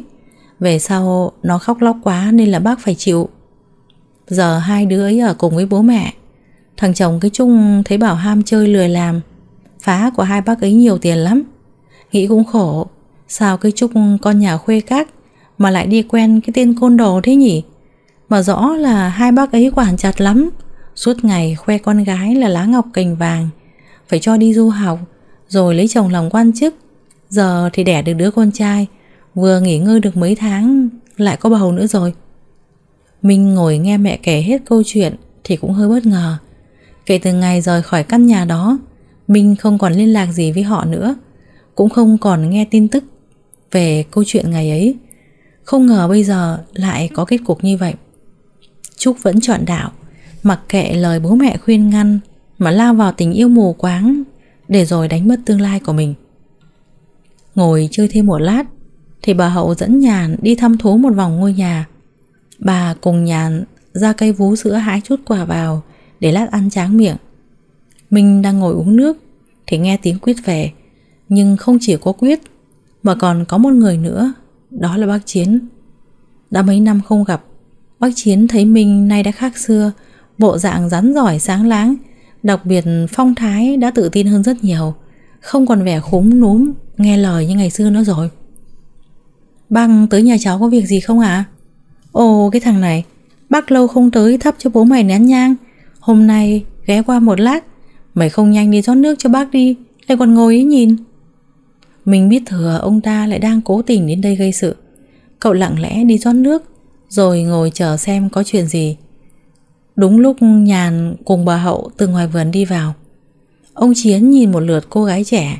Thấy cô gái lễ phép chào Thì không nói gì, Quay mặt đi uống nước. Thằng Minh, dạo này làm ăn gì rồi? Mày học chắc cũng xong rồi chứ hả? Cháu tốt nghiệp rồi, Giờ đang làm việc trên Hà Nội. Bạn gái mày kia hả? Sao trông không có phép tắc gì thế? Gái phố đúng không? Nhìn một cái là biết ngay con nhà có điều kiện. Mày màu trai thế nào lại vớ được thế? Bác, Nếu bác đến chơi, Thì mong bác cư xử đúng mực một chút. Bạn gái cháu lần đầu đến nhà, Cháu không muốn bất kỳ ai làm cô ấy khó chịu. Đúng là cái mỏ vàng rồi. Thảo nào mày bênh chằm chạp thế? Bác nói mày nghe. Những đứa nhà giàu có ấy mà. Nó quen mày, chỉ để vui chơi thôi. Chứ để người ta gả ấy, Thì ít nhất cũng phải có hoàn cảnh tương xứng. Không phải cán bộ Thì cũng làm ông chủ. Bần hàn như mày, Chắc giờ vẫn làm công nhân hả? Có cưới được người ta thì cũng chỉ bị khinh cho ra bã. Bạn gái cháu không giống chị Trúc. Bản thân cháu cũng không giống bác, Nên là mong bác đừng đánh đồng ai cũng như nhà mình. Mất dạy, Ai cho mày nói thế? Mày còn không tự nhìn lại mình xem. 25 tuổi đã vậy, Kể cả mày có 45 hay là 85 tuổi Thì mày vẫn nghèo khổ thế thôi. Bán cái mảnh đất kia cho tao. Tao trả nhiều một chút là mày có tiền lấy vợ xây nhà rồi. Thế chẳng hơn đi làm công cho người ta à? Bác đừng nhắc đến nước cát gì nữa. Giàu có như bác mà còn có lúc xa cơ thất thế. Phải đóng cửa mấy cái xưởng Rồi chuyển hết về đây. Nếu bác không thể nói chuyện đàng hoàng Thì cháu mời bác về cho. Được, mày giỏi lắm. Học được tí chữ vào là dở thói ăn cháo đã bát ngay. Để tao xem đời mày có khá được không. Hay chỉ suốt đời chu giúp ở cái xó rình nào đấy? Ông Chiến ra về được một lúc rồi, Thì Minh mới nén được cơn tức giận của mình. Ông ta không kiếm trác được chút lợi lộc nào, Nhưng ông ta thành công Đâm những nhát dao đau đớn Vào lòng tự tôn cao ngút trời của Minh. Đã lâu lắm rồi, Minh mới cảm thấy bản thân bị sỉ nhục đến như vậy. Cậu cứ nghĩ Giờ mình đã có công việc ổn định, Kiếm được tiền gửi về cho mẹ, Lo được cho nhàn. Nhưng như vậy vẫn chưa đủ. Mình phải làm ông chủ, Phải giàu có hơn những kẻ đang xem thường mình. Suốt một tuần trời, mình mất ăn mất ngủ. Công việc cũng không thể tập trung được. Nhàn thấy bạn trai như vậy Thì lo lắng lắm. Cô không biết nên khuyên mình đi nào. Từ hôm ở dưới quê về, Mình cứ đăm chiêu suốt. Lúc nào cũng ngồi thở ra như là đang suy nghĩ chuyện gì. Nhưng nhàn hỏi Thì mình lại không trả lời. Anh... anh sao thế? Mấy hôm nay anh mệt ở đâu hay sao? Chẳng chịu ăn uống gì vậy? Anh không sao đâu Cảm thấy ăn không ngon miệng một chút thôi Có chuyện gì thì anh nói cho em biết có được không? Anh cứ thế này làm em lo lắm Có vấn đề gì thì chúng ta cùng nhau giải quyết có được không anh? Thật ra anh đang muốn mở công ty em ạ Anh đã suy nghĩ rất nhiều Thử so sánh chúng ta với những công ty khác Rõ ràng thiết kế của chúng ta làm tốt hơn, Chăm sóc khách hàng tận tình hơn, Công trình cũng tự mình giám sát chặt chẽ hơn họ. Nhưng vì chúng ta không có công ty riêng, Nên chúng ta luôn chịu thiệt về giá cả. Khách hàng giờ họ cũng cần tìm một nơi uy tín. Còn chúng ta, đến cả cái văn phòng cũng không có. Cứ thế này thì sẽ không thể phát triển được, Sẽ bị những công ty khác chèn ép. Vậy chúng ta cũng thành lập công ty? Anh đã bàn với Phú rồi Cậu ấy cũng rất đồng tình Nhưng điều quan trọng bây giờ là phải có mặt bằng văn phòng và nguồn vốn để chứng minh tài chính mới được cấp phép hoạt động. Anh với thằng Phú mới ổn định được một thời gian. Tiền bạc anh đưa cho em quản lý hết. Chắc em cũng thừa biết hoàn cảnh của chúng ta hiện giờ thế nào. Tài chính chúng ta chưa đủ em à? Cứ lẹt đẹt thế này khiến anh chán nản lắm. Anh biết chúng ta mới làm. Cũng không cần gì nhiều. Chỉ cần một văn phòng nho nhỏ để làm nơi làm việc và tiếp khách thôi. Đợi khi chúng ta ổn định hơn thì sẽ mở rộng văn phòng, thuê nhân viên, anh sẽ đỡ bận rộn hơn, sẽ có thời gian chăm sóc cho em. Thời gian này anh quá bận, thường xuyên để em ở một mình. Anh thương em lắm, muốn được bù đắp cho em. Rồi tới khi chúng mình có sự nghiệp rồi, anh sẽ tổ chức cho em một đám cưới hoành tráng. Vậy bây giờ chúng ta phải làm gì hả anh? Về mặt này, em thật sự không biết phải giúp anh thế nào. Anh cần một nơi có thể cấp vốn cho chúng mình. Mặt bằng anh có thể tự đi thuê. Giấy tờ anh cũng có thể tự đi đăng ký. Bây giờ thứ chúng ta thiếu là nguồn vốn để làm ăn em à. À em nhớ ra rồi. Bác ruột của em làm công chức hành chính Ở cục quản lý thị trường. Em có thể nhờ bác ấy giúp chúng mình đăng ký giấy phép kinh doanh. Bố em cũng từng hứa sau khi em kết hôn, Sẽ tặng em một căn nhà mặt tiền ở trên phố. Lâu lắm em không ghé qua đó. Hình như là bố em đang cho người ta thuê Để bán đồ trang sức. Nhưng đó đều là của em. Anh đâu Anh đâu thể cứ thế nhờ em được. Hay là bọn mình cưới nhau đi em. Chúng mình sẽ cùng nhau phát triển sự nghiệp. Em cứ yên tâm ở nhà làm hậu phương cho anh. Anh sẽ lo cho em một gia đình hạnh phúc. Em chỉ sợ bố mẹ em không đồng ý cho bọn mình kết hôn. Nếu muốn thì anh có cách mà, chỉ sợ là em không muốn thôi. Cách gì hả anh? Bọn mình... bọn mình có em bé đi, bố mẹ em sẽ không nỡ ngăn cản nữa đâu. Như vậy liệu có ổn không anh? Không sao mà, anh hứa sẽ chịu trách nhiệm mọi thứ với em. Em chỉ cần nghe lời anh là được. Cuối cùng thì Nhàn cũng đồng ý Hai tháng sau, Nhàn gọi điện thoại cho bố mẹ, nói mình có chuyện muốn thông báo. Khi Nhàn và Minh nắm tay nhau bước vào trong nhà, thì đã thấy bố mẹ Nhàn là ông Đoàn và bà Tuyết đang ngồi trên ghế, nét mặt không mấy vui vẻ. Cái Nhàn bỏ đi bao lâu, hôm nay mới biết đường về đấy hả? Nói mẹ xem nào, xem hôm nay có chuyện gì mà anh chị nhớ tới chúng tôi. Nhàn đang định nói, thì Minh đã nắm chặt tay cô rồi lên tiếng. Dạ thưa cô chú. Hiện tại em Nhàn đã có thai. Cháu tới đây là để xin phép cô chú Cho cháu được chịu trách nhiệm với Nhàn. Cái gì? Anh vừa nói cái gì? Cái Nhàn, Con thật sự Dạ chúng con chót giải. Mong bố mẹ chấp nhận cho chúng con được làm đám cưới. Không được, Bố không đồng ý. Bây giờ các anh các chị giỏi quá rồi, Tự làm tự chịu. Chúng tôi coi như không biết chuyện gì hết.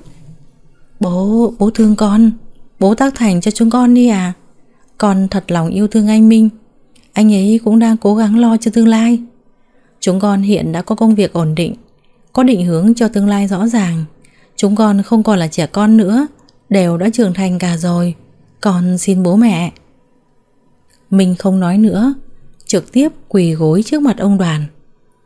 Con xin lỗi cô chú vì đã để em nhàn phải chịu những âm ức này. Con xin lấy danh dự cả đời của con để đảm bảo sẽ lo lắng chăm sóc cho em nhàn thật tốt. Sẽ phấn đấu để lo cho mẹ con nhàn bằng tất cả sức lực của mình. Con xin cô chú đồng ý cho chúng con làm đám cưới. Ông đoàn vẫn giận lắm, nhất quyết không đồng ý. Nhàn về nhà ở mấy hôm, nhưng thấy sắc mặt của bố thì buồn tủi, thành ra bị động thai. Mình nghe tin vội chạy tới đưa Nhàn đi viện, nôn nóng đứng ngoài cửa phòng khám, không dám rời đi phút nào. Bà Tuyết thấy cậu thanh niên lo lắng cho con bà như vậy thì cũng nguôi ngoai đôi phần. Trở về nhà, bà tầm bổ cho con gái lại lựa lời khuyên nhủ chồng. Thôi, chúng no gạo cũng đã nấu thành cơm. Con gái mình bỏ đi sống cùng cậu ta từng ấy thời gian, hẳn cũng đã đủ hiểu nhau. Tôi thấy cậu Minh đó cũng lễ phép. Tôi hỏi thăm công việc của cậu ấy rồi, đang cùng một người bạn mở một văn phòng kiến trúc online. Khách hàng phản hồi tốt lắm, năng lực của cậu ấy không tệ, hơn nữa cũng làm về xây dựng cùng ngành với ông. Biết đâu sau này hai người lại có thể hỗ trợ nhau. Nhưng tôi thấy cậu Minh này quá tham vọng. Tôi sợ cậu ta sẽ vì sự nghiệp mà bỏ bê gia đình. Như vậy thì con gái chúng ta sẽ thiệt thòi. Ôi dào, ông nhìn lại ông xem. Ngày trẻ chẳng phải ông cũng lao vào làm việc giống cậu ấy sao? Để mình tôi chăm con, lo lắng chuyện nhà. Cậu ấy có chí cầu tiến thế là tốt, giỏi giang chứ không phải kẻ ba hoa lười biếng. Mãi nửa tháng sau, ông đoàn mới đồng ý cho Minh và Nhàn cưới nhau. Đám cưới diễn ra nhanh chóng. Minh hạnh phúc vì mục tiêu tương lai đã nắm chắc trong tầm tay. Có vợ, có con, lại có gia đình vợ ở phía sau hậu thuẫn. Giờ đã là người một nhà, dù bố mẹ vợ có muốn hay không thì cũng vẫn phải lo lắng cho cuộc sống của con gái và cháu ngoại. Như lời hứa trước đó với Nhàn, ông đoàn tặng cho hai vợ chồng căn nhà rộng rãi ngay mặt phố để làm nơi an cư lạc nghiệp. Ngày tạm biệt căn trọ đã gắn bó với cả hai mấy năm trời, Nhàn hạnh phúc đến phát khóc. Minh tự nhủ trong lòng, cuối cùng cuộc đời mình đã sắp đạt đến đỉnh cao rồi. Vì Nhàn có thai nên mọi công việc đều gác lại. Tới cả chuyện sắm sửa cho ngôi nhà mới cũng một tay Minh lo liệu. Ngôi nhà 4 tầng với mặt tiền 6 mét có lẽ là mơ ước cả đời của bao người. Nay Minh dễ dàng mà có được, nên là anh khoái chí lắm. Chuyện lập công ty cũng nhanh chóng được thực hiện. Minh nhân cơ hội này thâu tóm toàn bộ quyền hành. Phú cũng muốn đứng tên đồng sở hữu với Minh. Nhưng mấy trăm triệu tiền góp vốn không phải là con số nhỏ. Minh được bố mẹ vợ giúp thì dễ dàng rồi. Còn Phú thì chẳng có gì trong tay. Ngậm ngồi chịu cảnh làm thuê cho Minh. Minh hứa với Phú vẫn giữ cho Phú mọi quyền lợi như một ông chủ. Còn Minh sẽ đứng ra lo những vấn đề pháp lý để Phú có thời gian toàn tâm toàn ý cho công việc. Nghe cũng xuôi tai, Phú đồng ý ngay lập tức. Đâu thể ngờ, chính sự tin tưởng vô điều kiện này đã hại phố mất đi mọi thứ. Từ ngày có công ty riêng, công việc của Minh phất lên như diều gặp gió. Nhờ có thêm nhiều mối quan hệ từ bố mẹ vợ, Minh bắt đầu nhận được các công trình lớn hơn. Số tiền lợi nhuận có khi lên tới cả trăm triệu hoặc hơn. Minh bắt đầu sắm sửa những thứ đắt tiền phục vụ công việc như quần áo, máy tính, đồ dùng văn phòng. Những thứ mà trước giờ Minh vẫn xòe xòa không hề câu nệ. Nhàn bước vào những tháng cuối thai kỳ, bác sĩ chuẩn đoán cái thai là một bé trai. Nhàn gọi điện về quê thông báo với bà Hậu.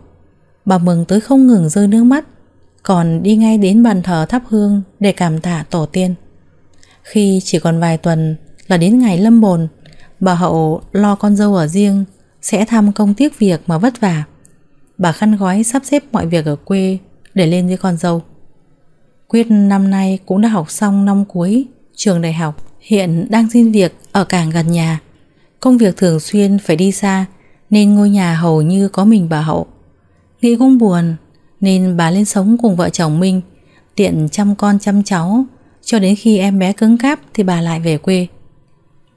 Vào một buổi chiều mùa hè mưa xối xả, Nhàn cùng bà Hậu đang ở trong bếp trò chuyện.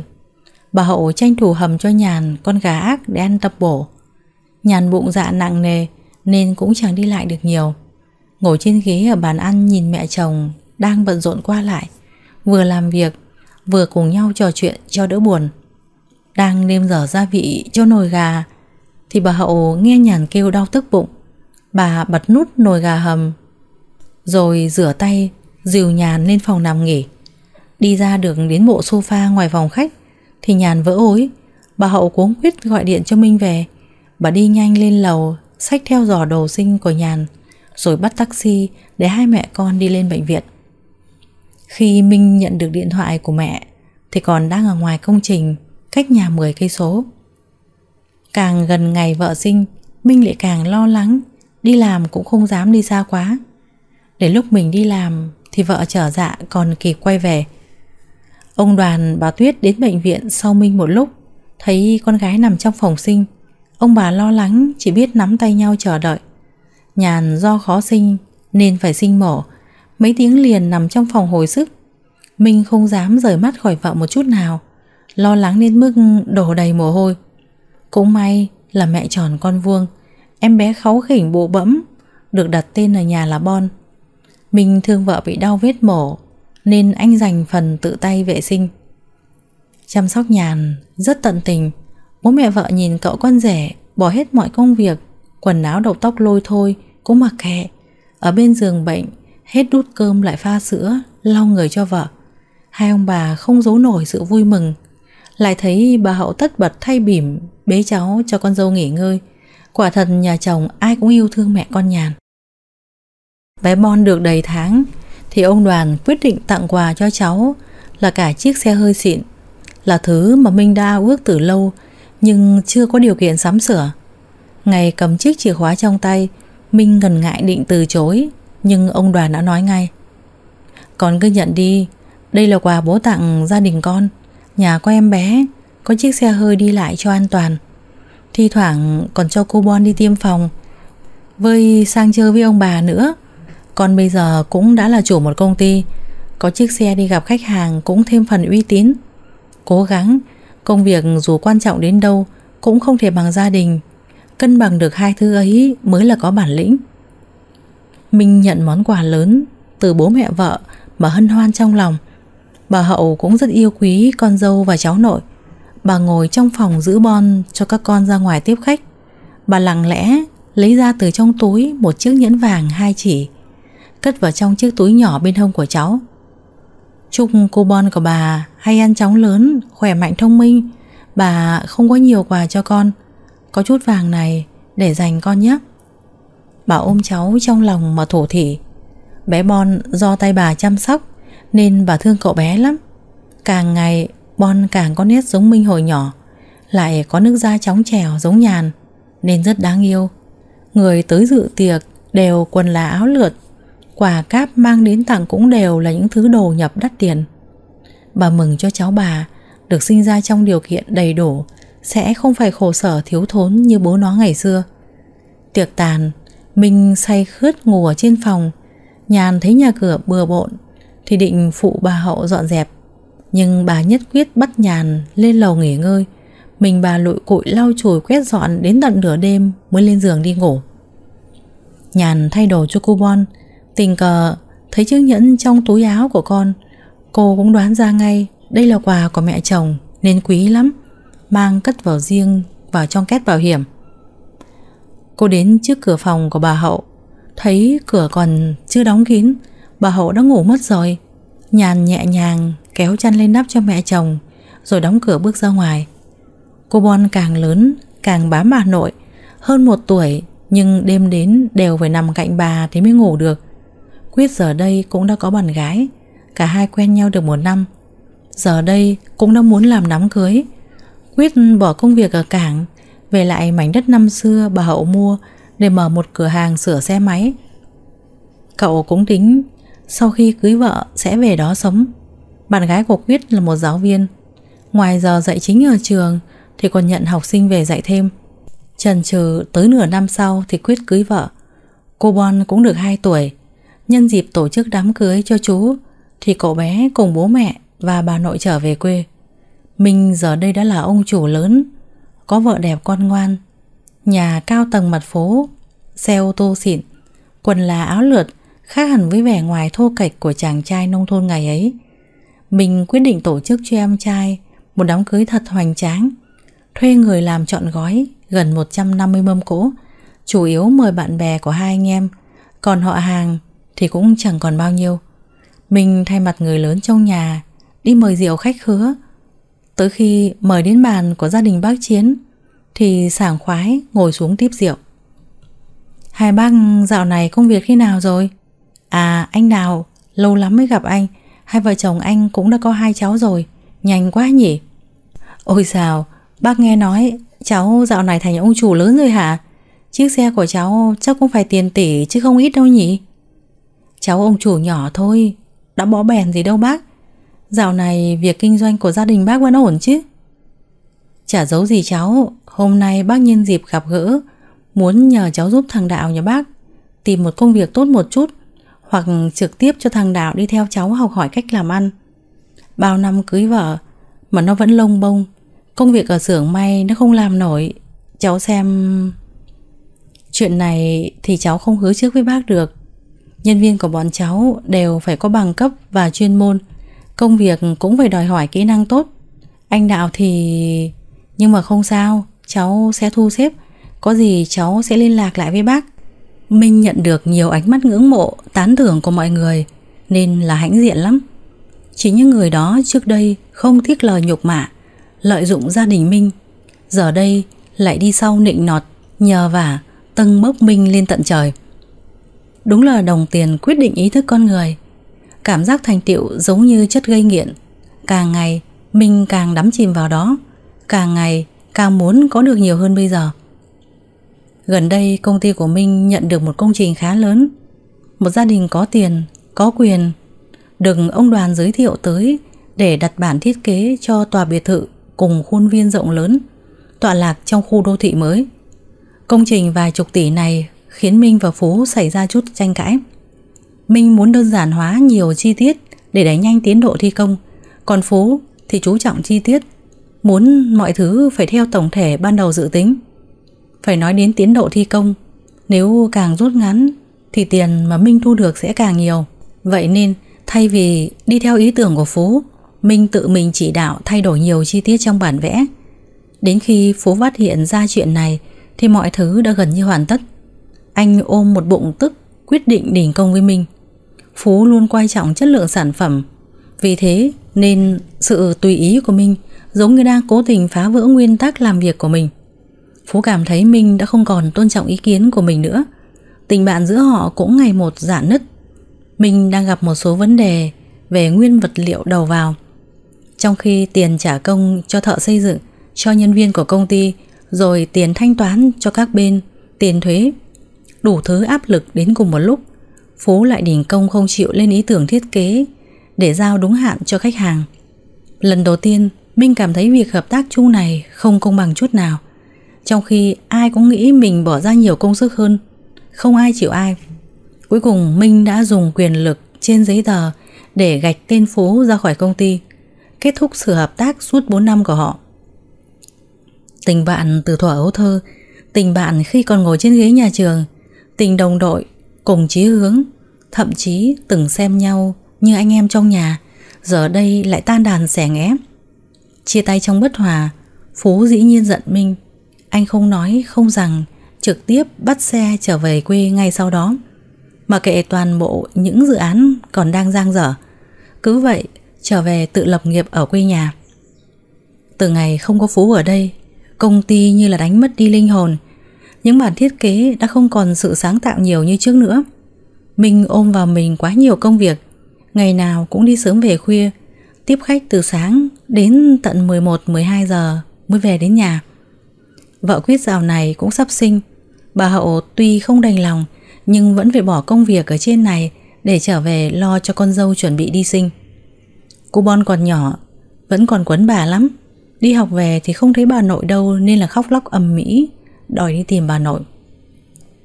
Đêm nó cũng không ngủ được, nằm trên giường lăn qua lộn lại gào lên đòi bà. Nhàn sợ con khóc ảnh hưởng đến chồng nghỉ ngơi Nên lặng lẽ dẫn con sang phòng bên cạnh Để dỗ con ngủ Mình đi làm cả ngày về nhà Thì thấy mọi thứ bừa bộn Con cái khóc lóc inh ỏi Nên là khó chịu ra mặt Tắm rửa xong còn chẳng thèm ăn cơm Cứ thế lên giường nằm ngủ Nhàn nhờ chồng con ngủ hết Thì mới lặng lẽ đi dọn dẹp mọi thứ Cô không dám than mệt với bà Hậu. Sợ mẹ chồng xót cháu. Mãi tới nửa đêm Mới được đặt lưng lên giường. Minh quay sang ôm lấy vợ. Muốn được thân mật một chút, Nhưng bị nhàn từ chối. Cả người nhàn, đau nhức, chẳng buồn nhúc nhích. Mặc kệ lời mời gọi của chồng mà đi ngủ. Một hai lần đầu thì không sao, Nhưng gần như cả tháng, Hai vợ chồng chẳng được gần gũi nhau. Mình đâm ra chán nản, Chẳng buồn gạ gẫm nữa.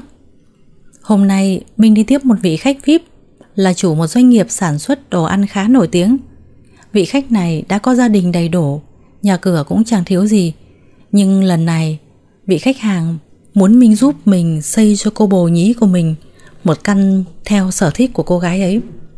mình đã trao đổi qua về ý tưởng với khách hàng qua điện thoại. Lần này gặp mặt là để chốt tiền cọc và giao bản vẽ.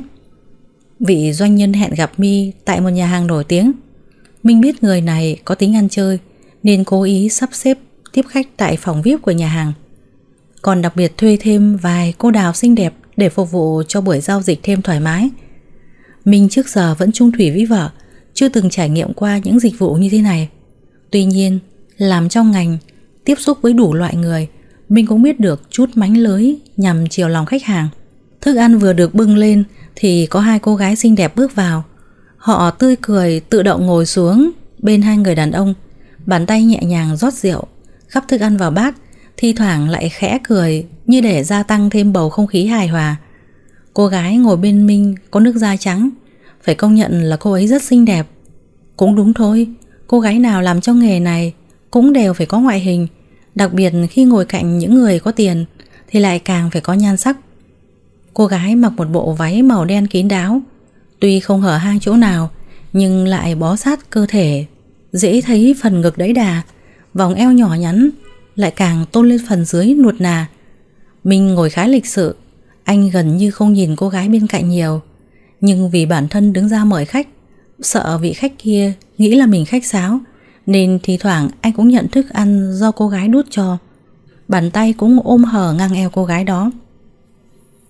Tiệc rượu gần tàn Cả Minh và vị khách đều đã ngà ngà say. Mình suýt chút nữa quên cả việc đưa hợp đồng. May sao, có cô gái ở bên cạnh đã nhanh trí giao tới trước mặt vị khách hàng. Lại nói thêm vài câu, Khiến ông khách đó tươi cười mà ký tên. Tiền cũng chuyển ngay lập tức. Còn đặc biệt, thêm chút tiền hoa hồng, Nói là để cảm ơn Bữa tiệc rượu hôm nay. Sau khi tiễn người khách kia về, mình thở phào nhẹ nhõm, Bởi dự án này có thể thu về rất nhiều lợi nhuận, Là miếng mồi béo bở hơn những công trình khó nhằn khác. Minh quay về phòng VIP Rút thêm tiền Ba cho hai cô nhân viên kia. Không quên cảm ơn cô gái ngồi cạnh đã giúp mình. Anh khách sáo quá, Lâu lắm rồi, Em cũng mới gặp một khách hàng lịch sự và tốt bụng như anh đấy. Nên giúp được anh chút việc Cũng coi như phải phép thôi ạ. Tiền này em không nhận nữa, Lần sau có dịp anh lại qua ủng hộ chúng em là được rồi. Vậy em cho anh biết tên. Lần sau tới, anh sẽ lại chọn em qua phục vụ. Dạ em tên Diễm. Lần sau qua, anh cứ gọi trước cho em. Em còn đi học, nên nhiều khi không có mặt ở đây. Hay anh với em trao đổi số điện thoại nhé. Nhìn cô gái vẫn còn nét ngây thơ ở bên cạnh. Minh không kìm được lòng Mà nhận lấy số điện thoại của Diễm. Về đến nhà, Minh chia sẻ niềm vui trong công việc với vợ. Nhàn thấy vẻ mặt phấn chấn của chồng Thì vui vẻ lắm. Hai vợ chồng cùng nhau trải qua một đêm ân ái. Trong lúc vui vẻ, Minh lại nhớ đến bóng hình của Diễm. Gương mặt ngây thơ, Thân hình hấp dẫn. Mình thấy mình như bị điên rồi. Nhiều ngày sau đó, Giống như có lực hấp dẫn không thể cưỡng lại Mình đã tới nhà hàng kia rất nhiều lần. Lần nào tới Mình cũng đều lấy lý do tiếp khách, Rồi hẹn Diễm đến phục vụ.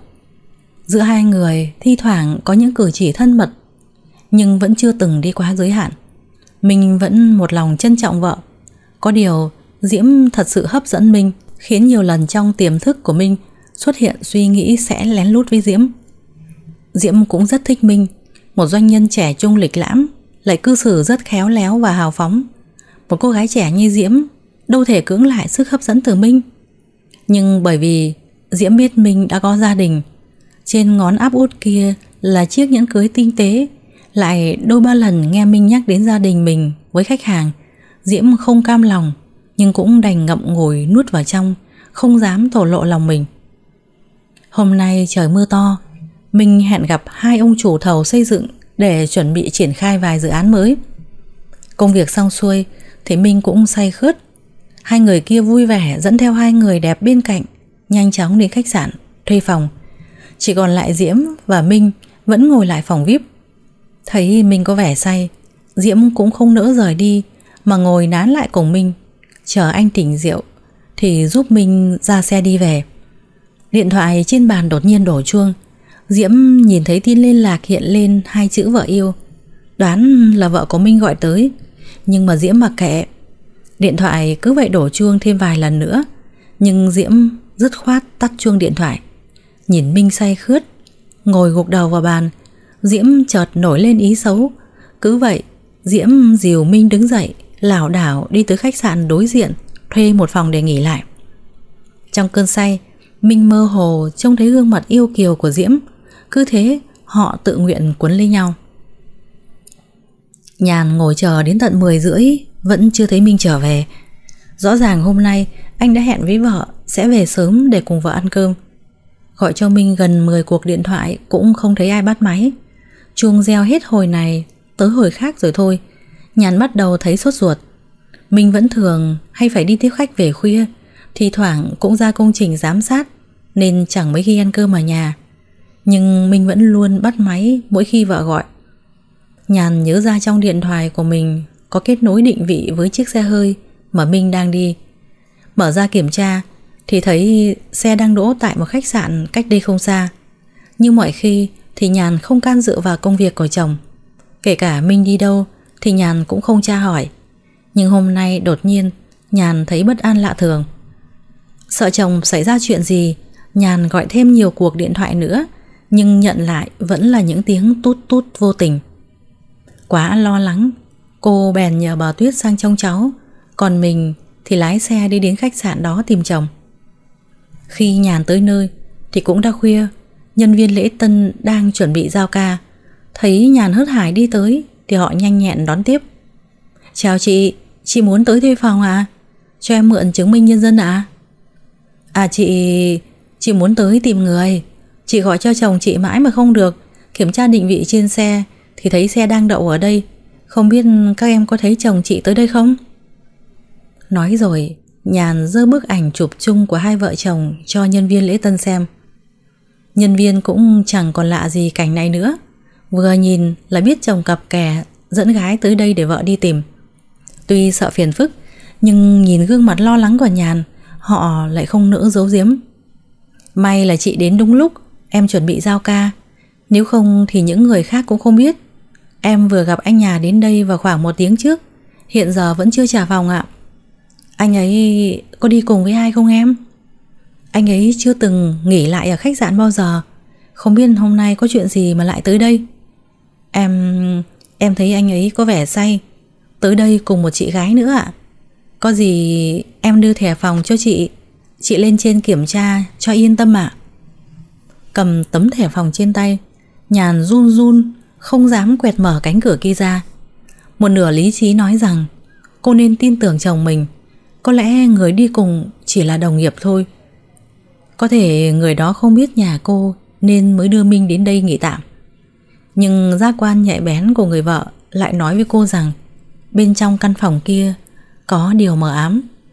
Nhàn đưa tay gõ cửa Cánh cửa phòng vẫn đóng im lìm Không có động tĩnh. Cô đưa tay quét tấm thẻ tờ Khóa cửa đột ngột mở ra. Nhàn bước vào trong Thấy dưới nền nhà là quần áo Giày tây Giày cao gót vứt lung tung.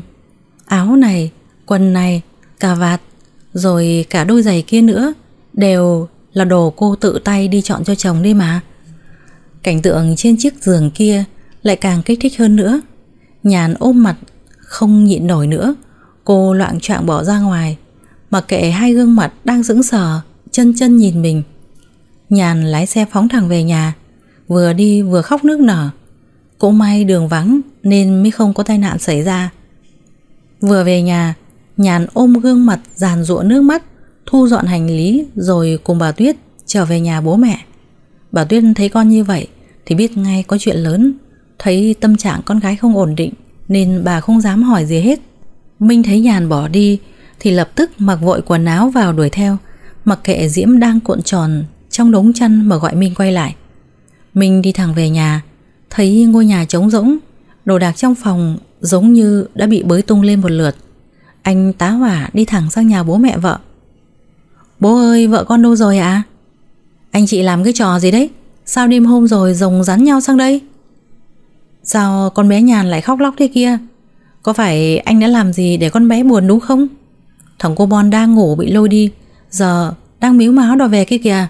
Nhà tôi là cái chợ đấy hả? Anh Minh, Anh nói cho tôi nghe xem, Đã có chuyện gì xảy ra rồi? Còn còn là con chót dại, Làm điều có lỗi với nhàn. Nên là cô ấy giận con Con... Con không cố ý, Là người ta gài con. Bố... Bố cho con lên gặp vợ con Để con giải thích với cô ấy. Anh... Anh giỏi quá rồi, Anh lại còn dám làm ra cái thứ chuyện đáng xấu hổ đấy. Anh mau cút về đi, Tôi không muốn trông thấy cái bản mặt của anh nữa. Ông đoàn quát lớn, Quyết đẩy Minh ra ngoài rồi đóng cửa nhà lại. Ông lên phòng của Nhàn. Thấy cô ngồi co ro bên mép giường mà khóc, Ruột gan ông cũng đau đớn không chịu nổi. Nhàn thức trắng đêm, Cứ thế khóc mãi, Hai mắt thì sưng húp, Cổ họng khô khốc. Gần trưa hôm sau Thì Nhàn mới xuống khỏi phòng. Đang đứng rót nước Thì cô thấy trời đất quay cuồng, Hai mắt tối đen rồi ngất xỉu không còn biết gì nữa. Bà Tuyết biết con đang gặp chuyện buồn Nên là xin nghỉ dạy Ở nhà trông nom con gái. Cô Bon thì đi học trong nhà có mỗi bà Tuyết với Nhàn. Thấy con ngất xỉu thì bà sợ lắm. Hốt hoảng đỡ con ngồi dậy, Rồi định đưa con đi bệnh viện. Đúng lúc Minh đang ở ngoài cổng, Nghe thấy tiếng bà Tuyết hét lên Thì vội trèo qua hàng rào mà chạy vào. Minh bế vợ lên, Phóng xe một mạch tới bệnh viện. Bà Tuyết ngồi ngoài phòng chờ, Nhìn Minh bằng ánh mắt ghét bỏ. Chính anh là nguyên nhân Khiến con bà đau lòng đến mức đó. Bà hận không thể đánh cho Minh một trận thay con gái. Để xả được cơn tức này, mình lo lắng, tự trách mình Do một phút bồng bột Bị ham muốn xấu xa che mờ lý trí Mà khiến vợ mình đau khổ đến mức này Ôm theo tâm trạng dằn vặt, Minh bước vào gặp bác sĩ Để nghe chuẩn đoán về tình hình của vợ có vẻ bệnh nhân chịu cú sốc lớn nên quá mệt mỏi mới bị ngất đi như vậy. Người nhà nên chú ý một chút. Phụ nữ mang thai không nên chịu bất kỳ cú sốc nào nếu không, sẽ ảnh hưởng rất xấu tới cả mẹ và bé. Bác sĩ nói sao? Vợ tôi... vợ tôi có thai sao? Đúng vậy. Chẳng lẽ anh chưa biết vợ mình có thai à? Em bé đã được hơn 8 tuần rồi. Mọi chỉ số của hai mẹ con đều khá ổn định. Có điều phải dặn dò thai phụ chú ý đến tâm trạng của mình. Đấy cũng là một yếu tố quan trọng quyết định chất lượng thai kỳ. Bồi bổ cho cô ấy và dặn cô ấy tránh kích động mạnh. Tôi sẽ kê cho cô ấy chút thuốc bổ để ăn thai. Chờ cô ấy ổn hơn thì gia đình có thể đưa cô ấy về. Minh mừng rỡ, quên hết mọi thứ mà chạy ngay vào trong phòng bệnh, nắm lên tay Nhàn nhưng bị cô từ chối. Nhàn cũng mới biết chuyện mình có thai, nỗi tủi thân lại càng dâng lên mạnh mẽ. Minh mặc kệ nhàn dãy rủa Cứ thế ôm chặt vợ vào lòng Anh xin lỗi Anh xin lỗi vợ Là anh sai Là anh ngu dốt để bản thân say xỉn Rồi làm điều có lỗi với em. Em đánh, Em chửi anh, Thế nào cũng được. Chỉ cần em tha thứ cho anh, Nhàn, Vì cô Bon, Vì đứa bé trong bụng, Quay về bên cạnh anh đi, Để anh chăm sóc cho em và con. Đừng tự làm khổ bản thân mình nữa, Có được không em? Anh nói dối, Anh là đồ tồi. Anh lên giường với cô ta, Giờ anh lại đòi tôi tha thứ. Vậy anh xem thể diện của tôi là cái gì? Anh xin thề với em, Hôm qua chỉ là sự cố. Anh chưa từng phản bội em. Hôm qua là do anh say Nên mới bị lợi dụng. Là cô ta, Là cô gái đó hại anh. Em phải tin anh. Tôi không muốn nghe. Anh cút ra ngoài cho tôi. Đi đi, Đừng để tôi thấy mặt anh nữa. Nhàn ơi, Đừng đuổi anh mà em. Anh ở ngoài cổng nhà bố mẹ cả đêm. Giờ em mà đuổi anh Anh sẽ cứ đi theo em mãi. Cho đến khi em chịu tha thứ cho anh thì thôi. Vì con, vì gia đình Tha thứ cho anh lần này đi mà em. Anh xin hứa sẽ không bao giờ để mình say xỉn Không để mình phạm phải sai lầm nữa. Nhàn bất lực Ngay đêm hôm qua Khi thấy cảnh chồng cùng người phụ nữ khác ân ái Nhàn đã muốn từ bỏ cuộc hôn nhân này. Cô muốn Minh phải nhận lấy hậu quả Từ việc làm sai trái của mình. Nhưng giờ đây bình tâm lại Cô nhận ra bản thân lại không nỡ. Cô nghĩ đến hai đứa con lại nghĩ tới 7 năm thanh xuân gắn bó với Minh, Cô lại tiếc. Vậy là dù có tức giận, Thì Nhàn vẫn theo Minh về nhà. Mất mấy tháng trời, Thì Nhàn mới nguôi ngoai bớt chuyện này. Bên vợ đã xử lý xong xuôi, Nhưng chỗ Diễm lại không dễ dàng như vậy. Diễm luôn cố ý gọi tới cho Minh Vào lúc Minh đang ở nhà, Đang họp.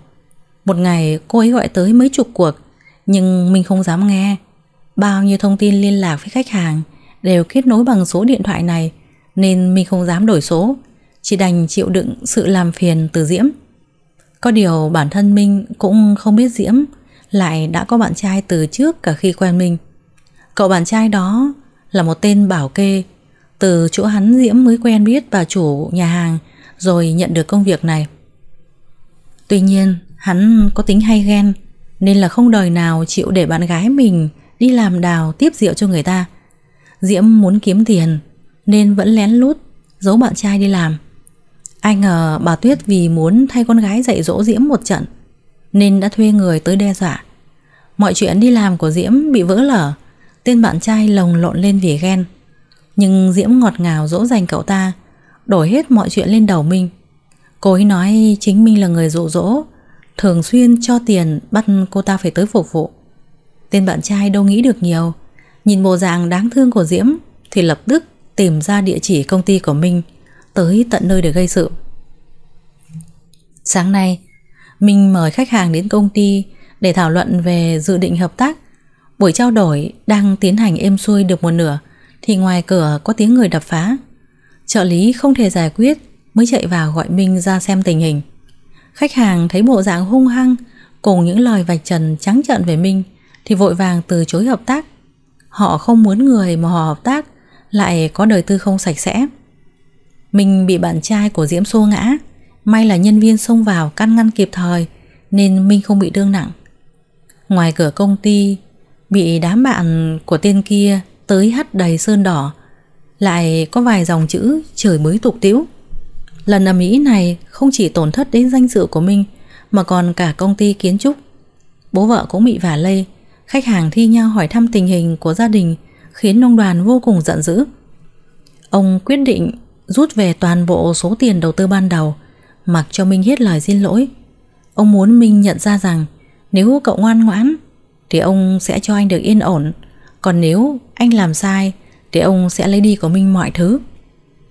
Cảm giác thất bại Bị sỉ nhục Khiến mình ăn không ngon, Ngủ không yên, Về nhà lại vẫn phải cố gắng tỏ ra hối hận Để chiều lòng vợ Phút chốc Mình thấy căm ghét Và xem thường chính mình Hóa ra bản thân cũng chẳng khác gì bác chiến hết Tưởng rằng có tất cả Nhưng thực tế mọi thứ đều được nhà vợ ban phát cho So ra thì chẳng khá hơn ông Chiến chút nào hết.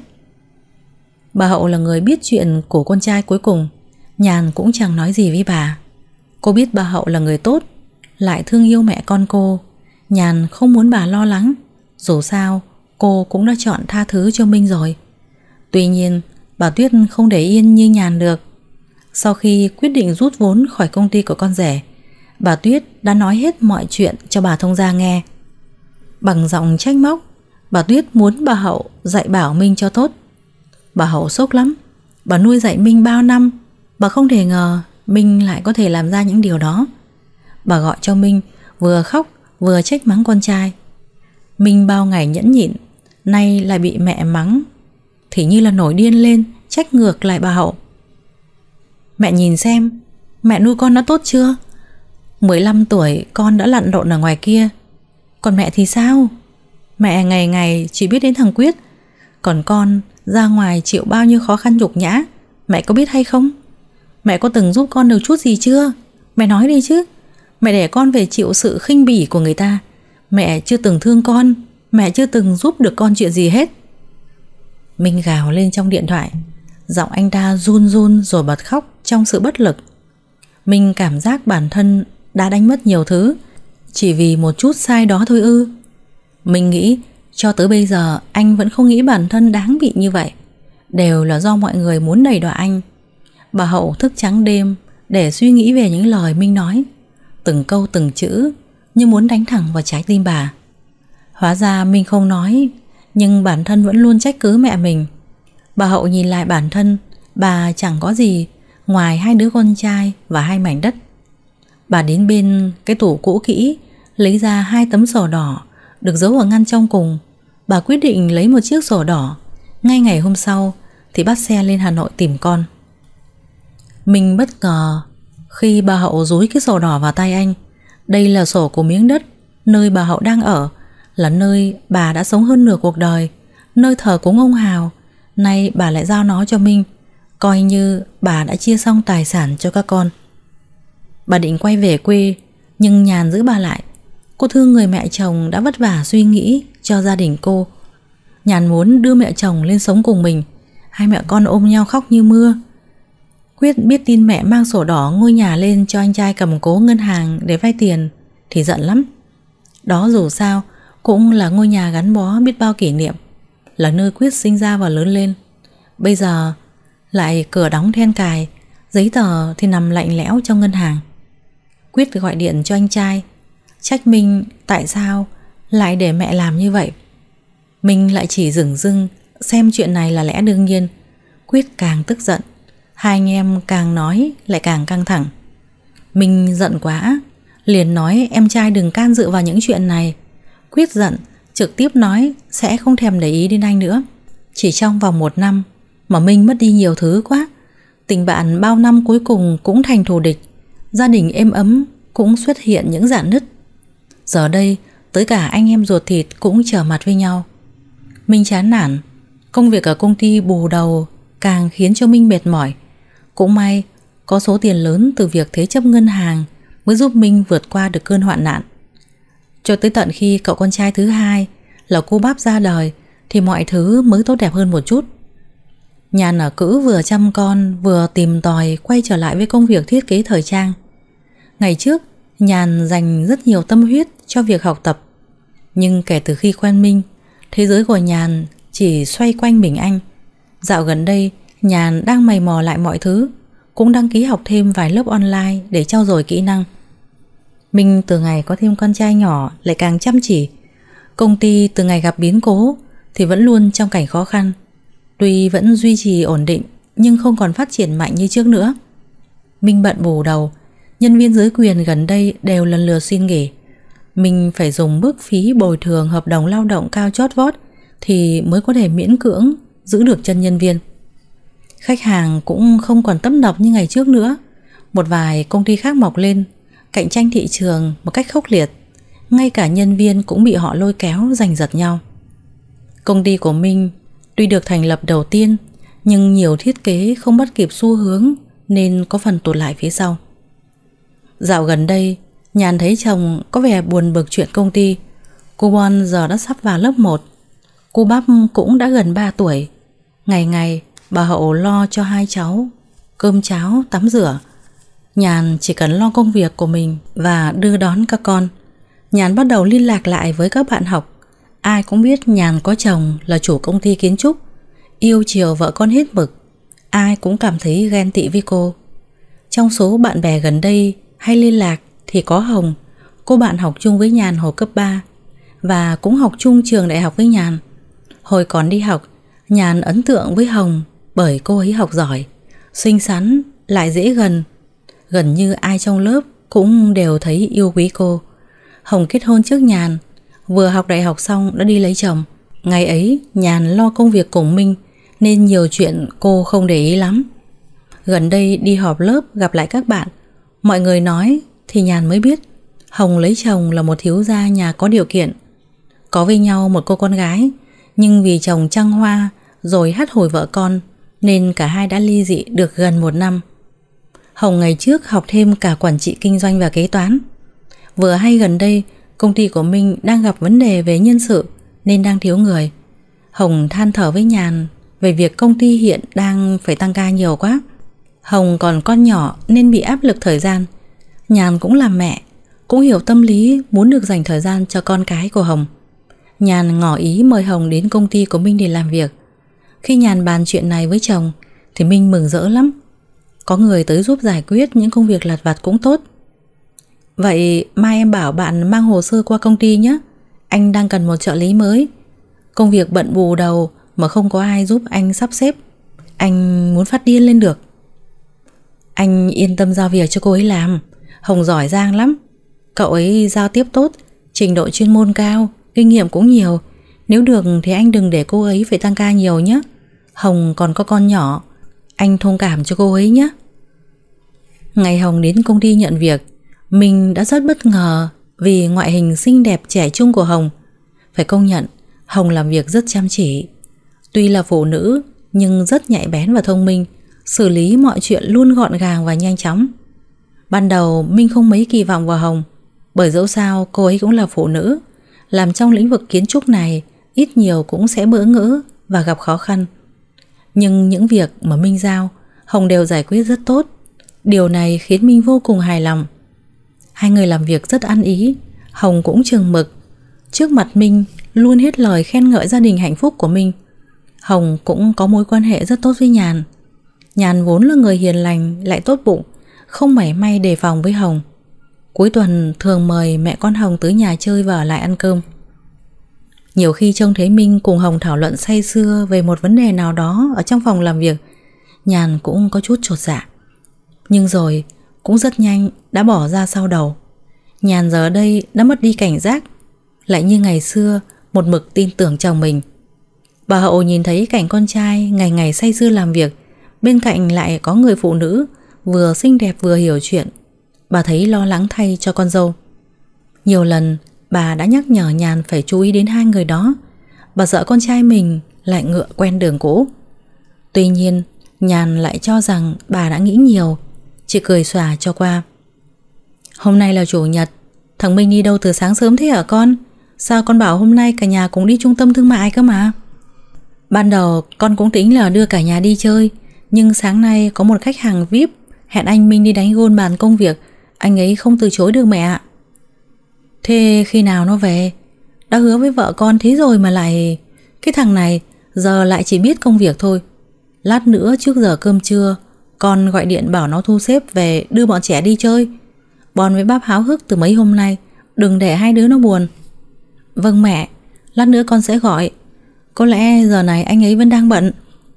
Mà hôm nay thằng Minh con dẫn theo cái cô Hồng kia đi không thế? Có chứ mẹ, Sáng nay, Hồng lái xe công ty tới chở anh Minh đi mà mẹ. Cậu ấy là trợ lý. Những dịp xã giao này nhất định phải đi cùng rồi. Con đấy, Mẹ nói bao nhiêu lần mà con không chịu nghe mẹ. Đàn ông không thể cứ để tự do bên cạnh người phụ nữ khác được. Mà mẹ thấy cái cô Hồng ấy, Nhìn cô ta rất có vấn đề. Con phải để ý vào. Hồng rất tốt mà mẹ. Cô ấy giỏi giang lắm. Ở bên cạnh anh Minh cũng giúp đỡ được nhiều việc. Thì đó, Cô gái đó quá khéo léo con thấy cách cô ta nói chuyện không? Khéo léo đến mức giả tạo. Nhàn cười phì trước những suy đoán của mẹ chồng. Mẹ cô đúng là càng ngày càng đa nghi. Mỗi lần Hồng tới nhà chơi là bà tỏ ra rất khách sáo. Cũng để ý từng cử chỉ hay là lời nói của Hồng. Con lại còn cười à Mẹ đang nói rất nghiêm túc đấy. Con nên quản lý thằng Minh chặt chẽ hơn. Hai đứa giờ đã có hai mặt con, Tình cảm có thể không còn mặn nồng được như ngày mới yêu nên con càng phải đề phòng. Dù công việc có thế nào thì gia đình vẫn phải đặt lên hàng đầu. Không thể cứ bỏ mặc mọi chuyện trong nhà cho vợ thế được. Con biết mà mẹ, mẹ đừng lo lắng quá, cứ thoải mái một chút đi mẹ. Dạo này công việc tiến triển tốt, tâm trạng của anh Minh cũng khá hơn. Con thương anh ấy vất vả, một mình xử lý quá nhiều công việc. Có thêm cộng sự, anh ấy cũng có thêm chút thời gian nghỉ ngơi. Con ấy, Quá tốt bụng rồi. Lúc nào cũng chỉ biết nghĩ cho người khác. Mẹ thương con với bọn trẻ. Mẹ chỉ sợ thằng Minh lại làm điều gì có lỗi với con. Nếu điều đó lại xảy ra, Chắc mẹ không thiết sống nữa. Mẹ Mẹ đừng nói vậy. Con đối với anh Minh thế nào, Anh ấy hiểu rõ nhất. Anh ấy sẽ không phụ con đâu. Mẹ bây giờ chẳng giống mẹ chồng của con chút nào. Làm gì có mẹ chồng nào Lại đi nói xấu con trai để bên con dâu chứ? Nhàn cười, Bà Hậu cũng cười theo. Có lẽ do bà không có con gái, Lại thấy Nhàn ngoan ngoãn hiền lành, Nên bà quý lắm. Bà xem Nhàn giống như là con gái ruột. Nhàn đối với mẹ chồng cũng hết mực hiếu thảo, Nên bà cảm thấy bản thân thật may mắn Khi có được người con này. Hồng trước kia có mối quan hệ khá tốt với vài ông chủ người Đài Loan. Ngay khi nghe tin, họ chuẩn bị về Việt Nam mở nhà xưởng thì đã nhanh chóng liên hệ, thành công giúp Minh giành được 3 công trình với trị giá vài chục tỷ đồng. Đã lâu lắm rồi, Minh mới lại nhận được một hợp đồng lớn đến vậy. Niềm vui bất ngờ khiến Minh biết ơn Hồng sâu sắc. Hồng tuy mới làm trợ lý cho Minh được nửa năm, nhưng đã giúp Minh không biết bao nhiêu việc. Rất nhiều khách hàng chỉ cần Hồng đứng ra đón tiếp cũng đã thành công ký kết hợp đồng mà chẳng cần Minh phải nhúng tay vào. Có được một trợ lý tài giỏi như vậy, dĩ nhiên Minh hài lòng ra mặt.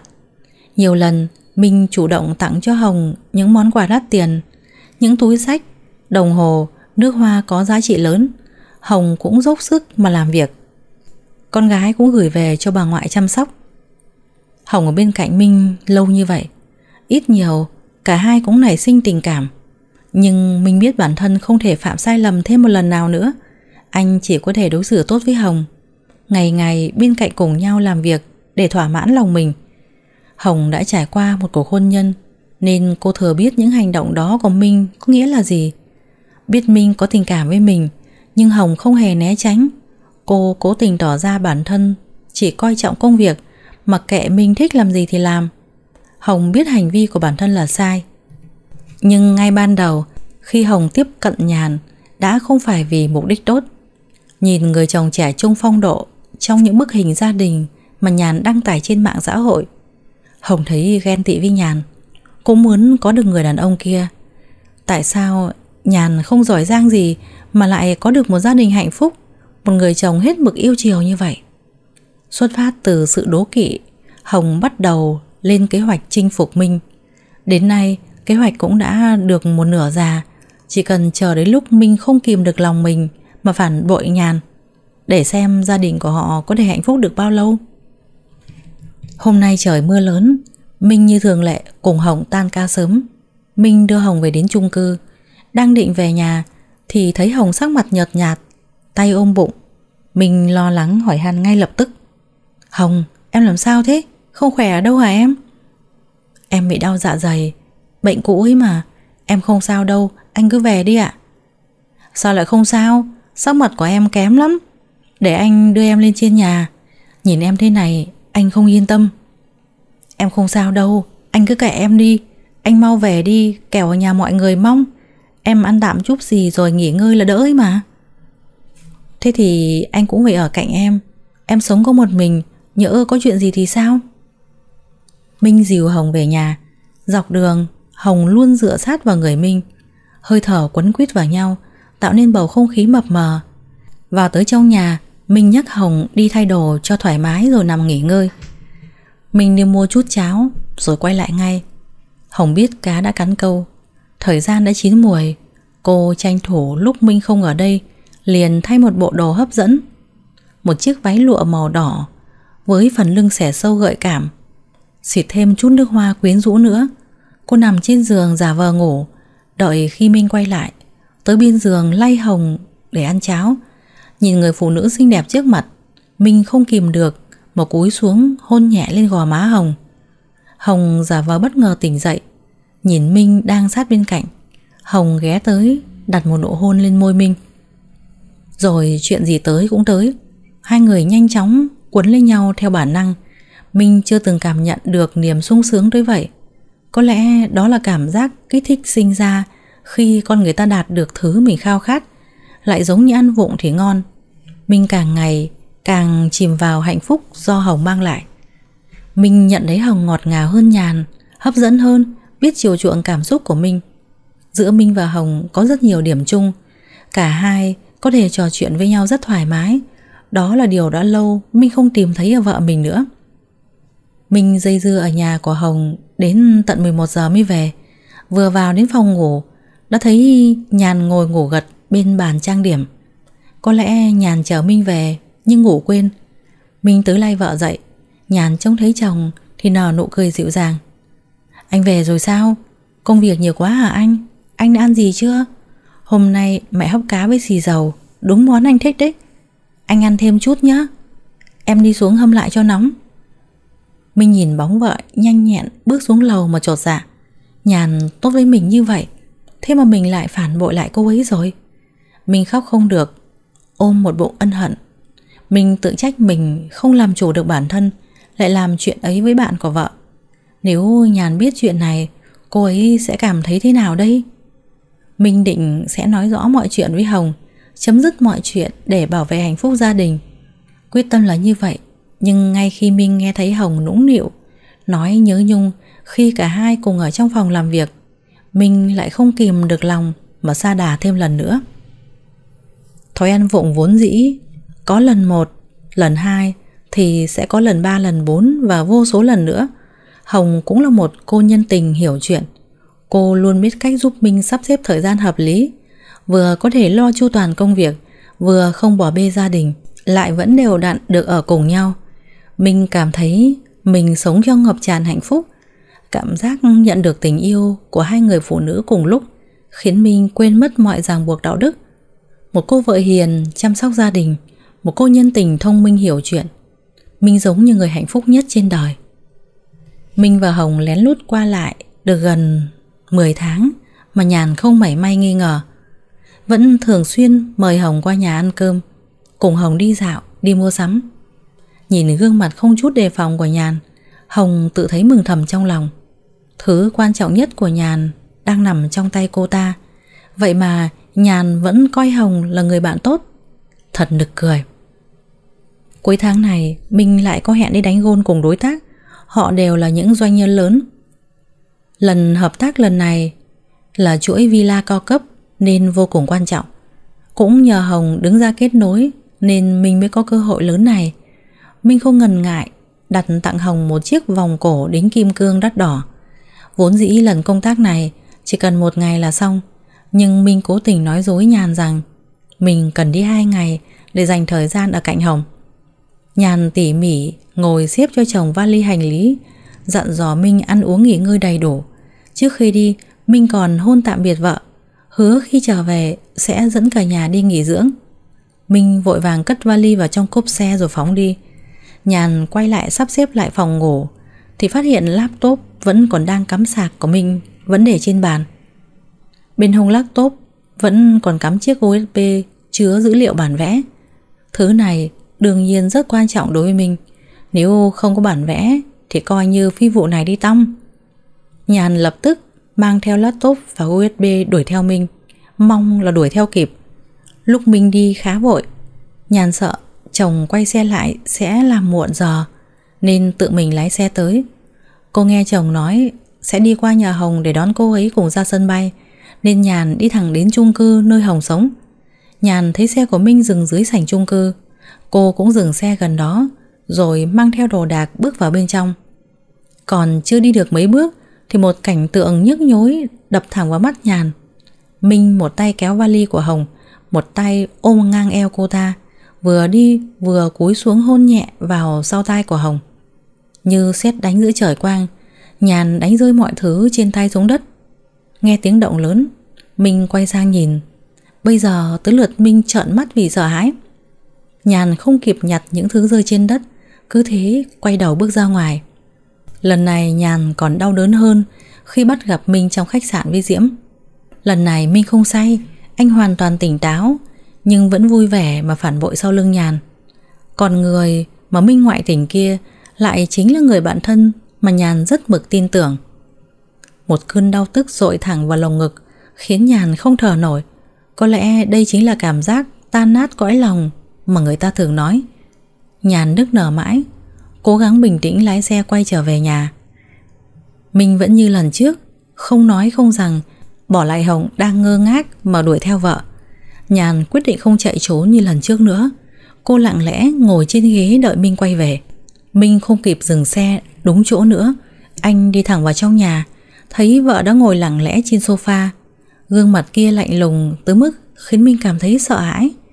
Và lúc này Lòng nhàn đã tan nát rồi Tấm chân thành dành cho Minh Như tấm gương đã vỡ Chẳng thể cứu vãn được nữa rồi Minh hốt hoảng quỳ xuống bên chân vợ Gấp gáp muốn giải thích để cứu vãn tình hình Nhàn, Nhàn ơi Anh sai rồi Em, em đừng làm anh sợ Em nghe anh giải thích Là anh... Anh không cần phải giải thích. Tôi hiểu hết rồi. Đơn tôi sẽ chủ động gửi tới. Anh chỉ cần nhanh chóng ký tên. Hôn nhân của chúng ta cứ giải quyết theo trình tự pháp luật. Anh có thể lên dọn đồ ngay bây giờ. Đừng làm gì ầm ĩ hết Kẻo các con sẽ thấy sợ hãi. Không, nhàn ơi Anh sẽ không ly hôn đâu. Anh cần em. Anh cần các con. Cần gia đình của chúng ta. Là anh sai Là anh phản bội em Là anh đáng chết. Em đừng bỏ anh. Anh xin em đừng bỏ anh. Mình Anh đừng như vậy nữa. Giữa chúng ta kết thúc rồi. Nếu anh cảm thấy có lỗi thì hãy chia tay trong hòa bình đi. Đừng khiến cho mọi thứ tồi tệ hơn nữa. Tôi đã suy nghĩ rất kỹ rồi. Lần đầu tôi đã tha thứ cho anh. Đó là giới hạn cuối cùng của tôi. Còn lần này tôi không thể chịu đựng được nữa rồi. Buông tha cho tôi đi. Không Anh xin em mà vợ. Tha thứ cho anh. Cho anh một cơ hội cuối cùng đi vợ anh cần em, Anh không thể sống thiếu em được mà. Anh nhầm rồi, Không ai có thể chết. Chỉ vì sống thiếu một người đâu, Mọi thứ đã quá rõ ràng. Kết thúc được rồi, Anh hãy đi đi Đi ra khỏi cuộc đời của tôi. Hơn 10 năm qua, tôi sống vì anh như vậy là quá đủ rồi, Đừng hành hạ tôi thêm nữa. Anh và cô ta chỉ là một phút nông nổi, Anh xin em mà, Đừng như thế với anh. Nhàn, Tha thứ cho anh đi mà em. Anh Chát Một cái tát nặng nề giáng xuống, Cả Minh và Nhàn hoảng hốt nhìn sang, Thấy bà Hậu với gương mặt giàn rụa nước mắt. Bà vừa mới đưa cháu đi học về, Chứng kiến toàn bộ cuộc đối thoại giữa Minh và Nhàn. Bà không thể nghe lọt tai thêm lời nào của Minh nữa. Đôi tay bà run rẩy, Đánh mạnh vào người Minh. Một cái, Lại một cái, Bà đánh con đến mức bàn tay mình sưng đỏ Từ lúc nào không hay. Minh ôm đầu, Ngồi gục bên chân vợ. Bà Hậu ngồi cạnh con vừa khóc vừa gào Nhàn vốn nghĩ bản thân đủ mạnh mẽ Để không khóc lóc đau khổ trước mặt Minh ấy thế mà nhìn người mẹ chồng đang vật vã ngồi dưới đất khiến cô không cầm nổi nước mắt. Nhàn ôm lấy mẹ chồng vào lòng, hai mẹ con ôm lấy nhau mà khóc. Bà Hậu vừa mếu máu vừa nói với con dâu. Là mẹ sai, là mẹ không dạy bảo được nó để nó làm khổ con. Nhàn ơi, con tha thứ cho mẹ. Con bỏ nó đi, đừng để nó có cơ hội làm tổn thương con lần nào nữa. Thằng Minh, mày còn biết suy nghĩ không? Sao mày lại khốn nạn thế hả con? Mày không nhìn thấy vợ mày đã vì mày mà làm bao nhiêu chuyện hay sao? Nếu biết mày đổ đốn làm khổ cái nhàn thế này Thì ngay từ đầu Tao đã không cho phép mày lấy nó Tao còn sống ngày nào Thì mày đừng mong được đến gần mẹ con nó Mày tưởng mày có tiền Thì mày được phép ra ngoài kia ngoại tình hả Những con đàn bà ngoài đó không ai bằng cái nhàn được cả đâu. Không một ai, Mày đã nghe rõ chưa? Tao khinh. Bà Nhàn khóc lóc một hồi, Rồi chạy lên trên phòng ngủ của hai vợ chồng Nhàn. Bà lôi đống quần áo của Minh xuống Rồi nhét hết vào vali. Bà kéo cái vali lạch cạch đi xuống dưới nhà, Rồi đẩy nó cho Minh. Bà đuổi thẳng đứa con trai của mình ra ngoài Rồi đóng cửa lại. Bà không biết mình nên làm gì lúc này. Ở lại thì bà tự thấy xấu hổ với con dâu, Nhưng bỏ đi Bà lại thương con, thương cháu. Bà ngồi mãi bên cửa nhà Cứ thấy ôm đầu mà khóc. Mãi đến khi bình tĩnh lại Thì bà gọi điện cho ông bà thông ra Trước mặt ông đoàn bà Tuyết Bà Hậu cúi gặp người để xin lỗi thông gia. Cuộc đời bà chưa phút giây nào cảm thấy ê chề nhục nhã như lúc này. Những điều Minh làm không thể tha thứ. Bà thu dọn đồ đạc Rồi cũng tạm biệt mẹ con nhàn mà rời đi. Hai đứa cháu ôm chặt bà nội mà khóc. Chúng không muốn bà đi, Muốn bà cứ ở mãi với chúng. Bà ôm các cháu một lúc lâu, rồi bà dứt khoát, Xách theo túi đồ mà đi ra ngoài. Nhàn không còn tiếc Cuộc hôn nhân dối trá này nữa. Nhưng cô tiếc người mẹ chồng này. Cô vẫn luôn xem bà như là mẹ đẻ của mình. Nhớ lại những lúc ở cữ, Bà Hậu không ngại bẩn.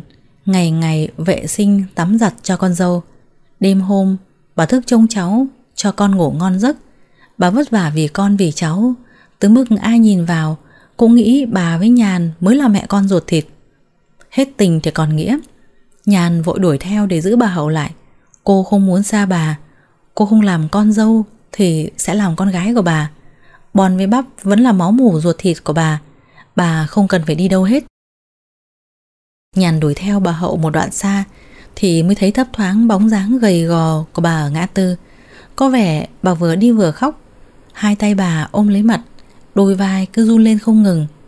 Đang định chạy lên kéo bà lại, Thì Nhàn thấy một chiếc xe máy đi ngược chiều, Từ trong khúc cua phi ra. Cậu thanh niên đi quá nhanh, Nên không kịp tránh bà Nhàn. Chiếc xe cứ thế đâm vào bà. Bánh xe cán qua cánh tay của bà. Bà Hậu nghe một tiếng rắc nơi cổ tay, Đầu đập mạnh xuống đất, Nên bà ngất ngay sau đó. Chiếc xe gây tai nạn cho bà Hậu bỏ chạy. Nhàn sợ hãi Vừa lay mẹ vừa hô to, Nên có mấy người ra giúp đỡ, Đưa bà vào bệnh viện. Mình biết cuộc hôn nhân của mình đã không thể cứu vãn, Chán nản bỏ đến công ty. Ngồi một mình trong văn phòng uống rượu mình say rượu nằm vật trên bộ sofa tiếp khách. Điện thoại đổ chuông bao nhiêu lần cũng không hay biết. Cứ thế, tới gần 10 giờ mình mới tỉnh. Mở mắt ra, thấy Hồng đã ngồi trong văn phòng từ lúc nào. Cô ta ân cần tới bên cạnh rót nước cho mình Minh vùng vằng, hất cốc nước trên tay của cô ta đi. Hồng lúc này tỏ ra giận dỗi, Trách ngược lại Minh. Anh sao thế? Cô ta biết mọi chuyện đâu phải là do em. Mà sớm muộn gì cũng bị phát hiện thôi. Coi như là giải thoát cho anh sớm một chút. Anh còn tiếc gì chứ? Có em ở đây rồi, Em sẽ chăm sóc cho anh mà. Anh sợ em không bằng cô vợ cũ của anh à? Anh nói kiểu gì thế? Anh đang rất mệt, Em đừng có làm phiền anh nữa. Em biết, Nhưng chúng ta từ nay có thể công khai thoải mái ở bên nhau, Không cần lén lén lút lút nữa. Anh không thấy từ ngày ở bên em, Công việc của anh thuận lợi vô cùng sao? Chúng ta hợp nhau như vậy, Anh còn chần chừ gì nữa? Ly dị đi, Tới đây với em. Mình không nghe lọt tai lời nào của Hồng. Anh nhìn đồng hồ, Rồi chán nản đứng dậy. Định bụng sẽ kiếm chỗ nào nghỉ ngơi tạm một đêm. Mai sẽ về nhà tìm cách hàn gắn với nhàn. Nhìn vào điện thoại, Minh giật mình bởi mấy chục cuộc gọi nhỡ từ nhàn. Anh gọi lại mới biết là bà Hậu bị tai nạn giao thông, Giờ đang nằm trong phòng cấp cứu. Minh vội vã ra lấy xe định đến bệnh viện. Thì Hồng giành lái xe. Minh cũng mới uống rượu nên không thể tham gia giao thông. Anh không nghĩ được nhiều, Nên là đồng ý để Hồng đi cùng. Bà Hậu từ từ tỉnh dậy sau hôn mê. Bà bất tỉnh mấy tiếng đồng hồ. Xương cổ tay bị gãy Đầu bị chấn thương nhẹ Toàn thân đau ê ẩm Đặc biệt là cánh tay không cử động được nữa. Mẹ Mẹ giữ yên tay đừng động đậy. Bác sĩ vừa nắn chỉnh lại xương Bây giờ mẹ vẫn phải bó bột. Mẹ có khó chịu ở đâu thì cứ nói với con Đừng nhúc nhích. Mẹ không sao Sao con lại ở đây? Rõ ràng mẹ Mẹ đừng nhắc đến nữa Con sẽ không để mẹ đi đâu hết. Mẹ là mẹ của con Là bà nội của Bon, của Bắp Mẹ định bỏ mẹ con chúng con. Mà đi như vậy sao? Mẹ giống như mẹ ruột của con. Mẹ không còn là mẹ chồng nữa. Mẹ cứ yên tâm ở lại đây mẹ nhé. Nhưng mà Là thằng Minh nó làm khổ con. Mẹ xin lỗi. Con không sao. Giờ con chỉ cần mẹ nhanh bình phục. Chúng ta làm lại từ đầu. Mình hớt hải chạy vào phòng bệnh. Trông thấy nhàn đang lặng lẽ Ngồi bên giường, Lau mặt cho bà Hậu. Hồng cũng cùng vào theo. Triệt để bóp chết hy vọng cuối cùng của nhàn dành cho Minh. Bà Hậu vừa trông thấy đôi gian phu dâm phụ Thì nổi cơn lôi đình. Bà mặc kệ cơ thể đau đớn Mở vơ chiếc cốc trên bàn Ném vào người Minh. Lại lấy luôn hộp sữa đang uống dở Mà ném thẳng vào mặt Hồng. Sữa bắn tung tóe lên gương mặt trang điểm của Hồng. Cô ta lùi lại theo bản năng, Định trợn mắt lên với bà Hậu. Nhưng nhớ đến đang đi cùng Minh nên chỉ đành hậm hực Lau sạch sữa trên mặt. Cút, cút ngay. Tao không có loại con như mày. Đem ngay cái thứ rác rưởi kia Cùng ra ngoài ngay cho tao. Chúng mày dẫn nhau đến đây Định làm tao tức chết hả? Mày không còn là con tao nữa. Cái nhàn mới là con tao. Mày đã nghe rõ chưa hả Minh? Minh không ngờ Mẹ lại có thể nói ra những câu từ mặt mình. Sợ mẹ tức giận ảnh hưởng đến sức khỏe. Minh đưa Hồng rời đi. Trước khi cánh cửa phòng bệnh đóng lại Hồng đã kịp ném cho Nhàn Một ánh mắt hả hê tự đắc chỉ tiếc rằng Nhàn đã không thèm quan tâm đến cô ta nữa Đối với những kẻ như vậy im lặng mới là đòn sát thương chí mạng nhất. Hồng thành công tẩy não Minh bằng những lời hứa hẹn ngọt ngào. Minh càng ngày càng đánh mất lý trí, tin tưởng hoàn toàn vào những lời xúi dục của Hồng. Chỉ 3 tháng sau ngày bà Hậu được xuất viện, Nhàn với Minh chính thức ra tòa để hoàn tất thủ tục ly hôn. Ngày trở thành người xa lạ, Nhàn mang theo tâm trạng nhẹ nhõm, quay lưng đi, không còn gì tiếc nuối. Minh còn định nói với Nhàn đôi câu, nhưng thấy cô đã đi mất, nên là cũng đành thôi. Họ đã ở bên nhau hơn 10 năm, cuộc đời lấy đâu ra nhiều cái 10 năm như vậy? Là Minh sai, là Minh không biết trân trọng những gì mình đã có. Bây giờ có hối hận thì cũng đã vô dụng rồi. Hồng thông báo mang thai ngay sau khi Minh hoàn tất thủ tục ly hôn. Tòa chia đôi toàn bộ tài sản chung, nhưng Nhàn chấp nhận chi theo thỏa thuận của cả hai. Nhàn dành toàn quyền nuôi con và không cần sự trợ cấp từ Minh. Cô giữ lại căn nhà đang sinh sống, còn Minh thì vẫn giữ nguyên công ty. Chỗ cổ phần mà Nhàn có cũng sẽ được rút vốn về toàn bộ. Trong nháy mắt, Minh mất đi 1 phần 3 công ty, nhưng Minh vẫn tự tin vì bên cạnh mình còn trợ thở đắc lực là Hồng. Số tiền kia rồi cũng sẽ sớm kiếm được về mà thôi. Giống như kẻ đi săn, đã săn được con mồi, Hồng dần dần mất đi hứng thú với Minh. Giờ đây, thứ Hồng nhắm tới chính là số tài sản còn lại của Minh. Số tiền đó đủ để mẹ con Hồng sống rủng rỉnh cho tới khi tìm thấy con mồi tiếp theo. Hồng kêu ca việc có bầu khiến bản thân không thể làm gì được. Cứ thế ngày này qua tháng nọ, nằm cắm rễ trong nhà. Thật ra bản thân Hồng không mệt mỏi đến thế, nhưng việc vác cái bụng bầu đi khắp nơi sẽ khiến thân phận tiểu tam của cô ta bị bại lộ. Lại còn cặp kè, rồi sinh con cho tình nhân thì sau này sẽ khó tìm được người mới. Cô ta tìm cách hạn chế tiếp xúc với người ngoài nhiều nhất có thể. Mình lo công việc ở công ty đến quay cuồng cả đầu óc. Vốn thì rỗng, đến cánh tay đắc lực cũng chỉ biết nằm dài ở nhà dưỡng thai, khiến bao nhiêu áp lực đổ dồn lên đầu anh ta. Có những hôm đi làm về đã gần nửa đêm, nhưng trong nhà đến một hạt cơm cũng không có. Hồng thì nằm ở trên ghế xem phim, mặc kệ mình đi ra đi vào kêu đói bụng cũng không động tĩnh gì. Hồng kêu có bầu mệt mỏi, nhưng vẫn có tâm trí mua sắm online. Trong nhà chất đống đồ đạc, nhìn qua không khác gì cái bãi phế liệu ấy vậy mà Hồng nhất quyết không dọn Minh nhìn hoàn cảnh của bản thân hiện tại Chợt nhớ tới nhàn ngày xưa. Hồi có bầu cô bon, Nhàn bị ngén nặng, Ăn thì ít mà nôn thì nhiều. Cả người gầy gò, xanh ngắt như tàu lá. Hồi ấy, công việc của Minh chưa đâu vào đâu, Không có điều kiện chăm sóc tốt cho nhàn. Vậy mà cô chưa từng than mệt Hay đòi hỏi thứ gì, Ngày nào cũng dọn dẹp nhà cửa sạch sẽ, Nấu cơm chờ Minh về Rồi cùng nhau ăn uống.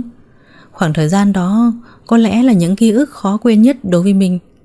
Tấm chân tình mà nhàn dành cho anh chính là thứ vô giá mà có lẽ cả đời mình cũng không thể tìm lại được. Gần đây, công ty gặp nhiều rắc rối. Bản thiết kế xuất hiện lỗi, nhân viên biên tổ thiết kế lần lượt nghỉ việc.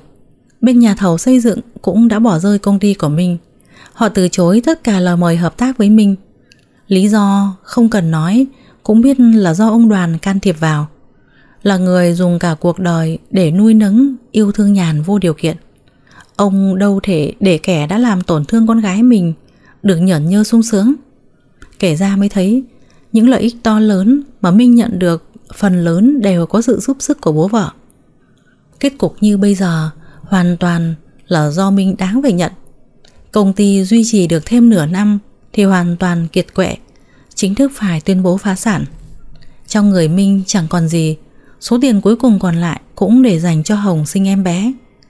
Đứa trẻ là một bé trai, giống Hồng như đúc, dù đã không còn được như xưa, nhưng Minh vẫn rất vui vì sự ra đời của đứa bé.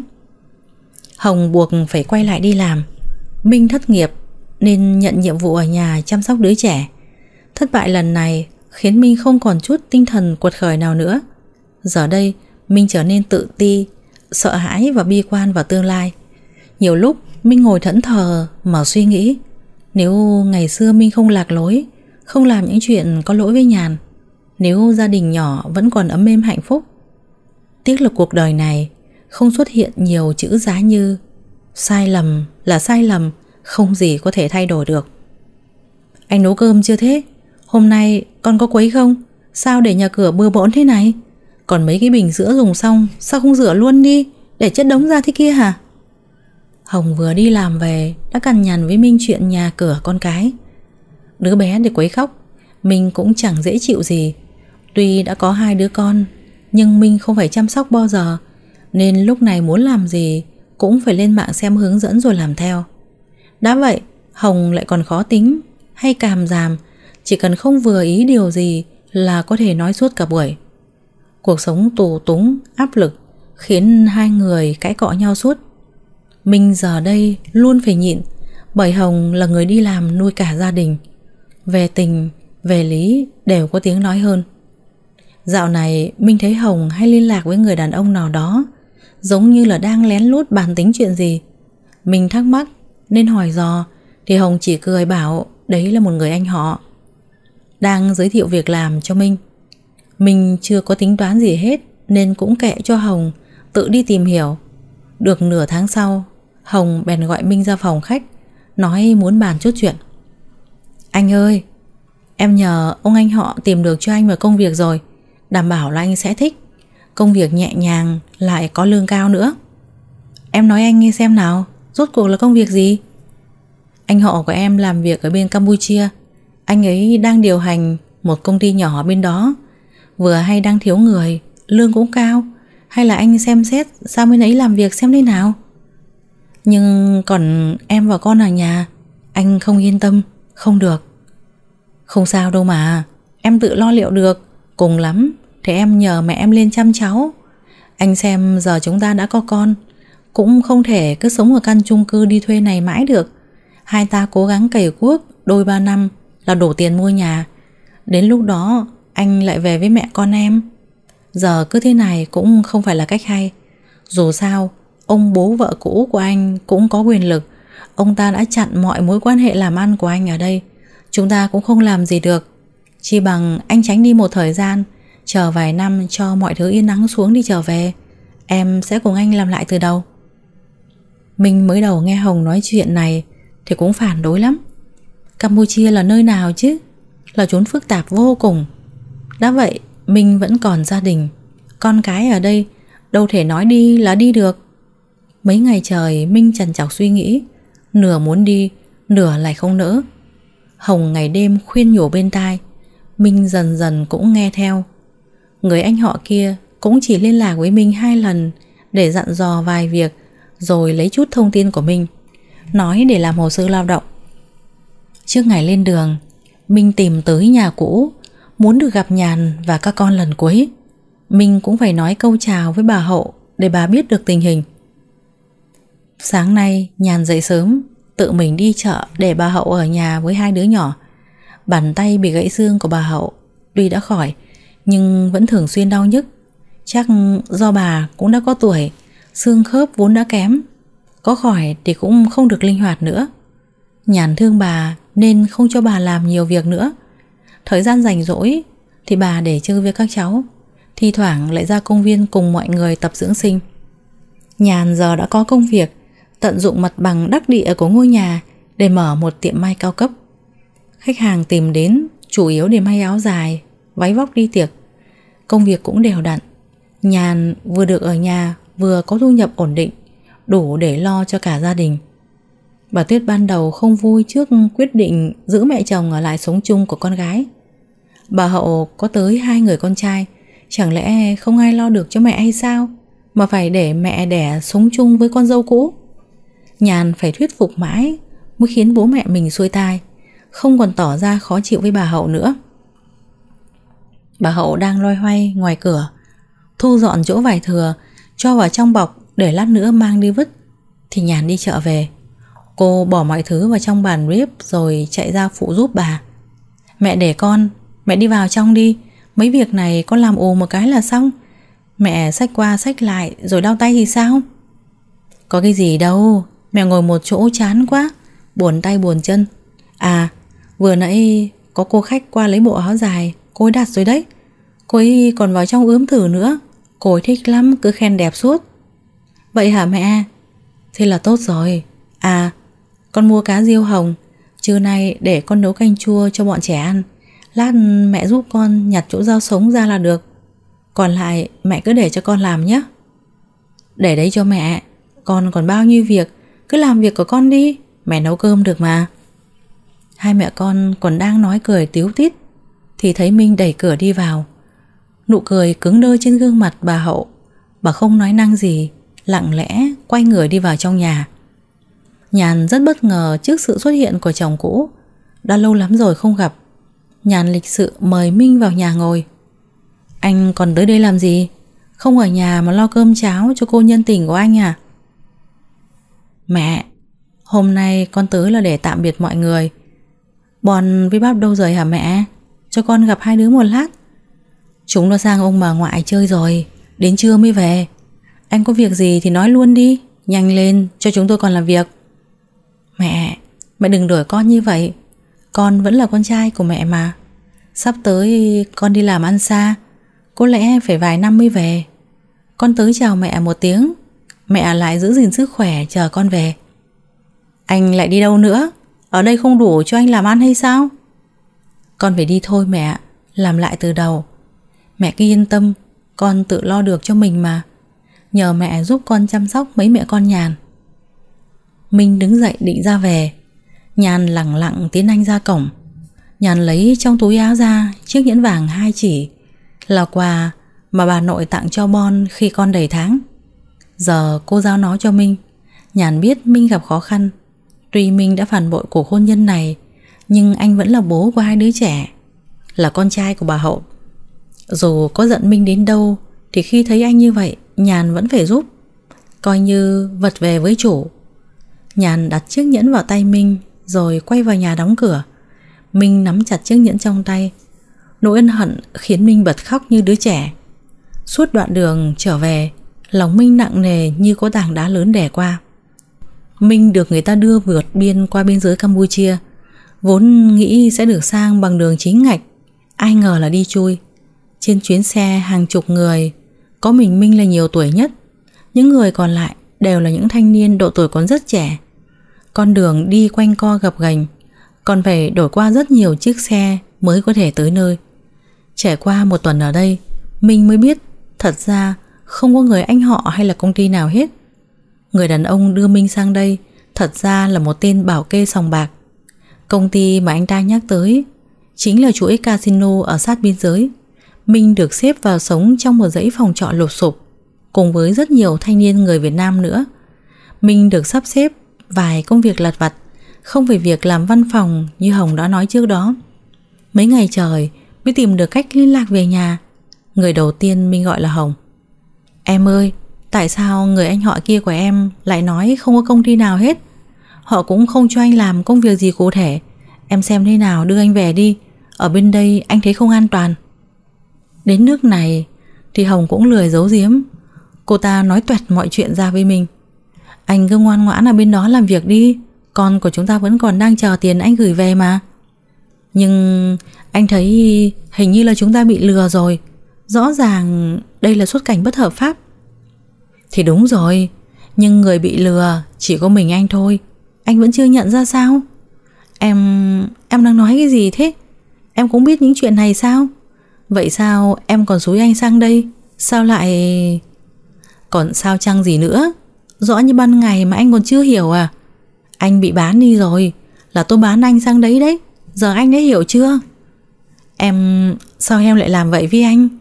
Anh là chồng em, Là bố của con em. Sao em lại đối xử với anh như vậy?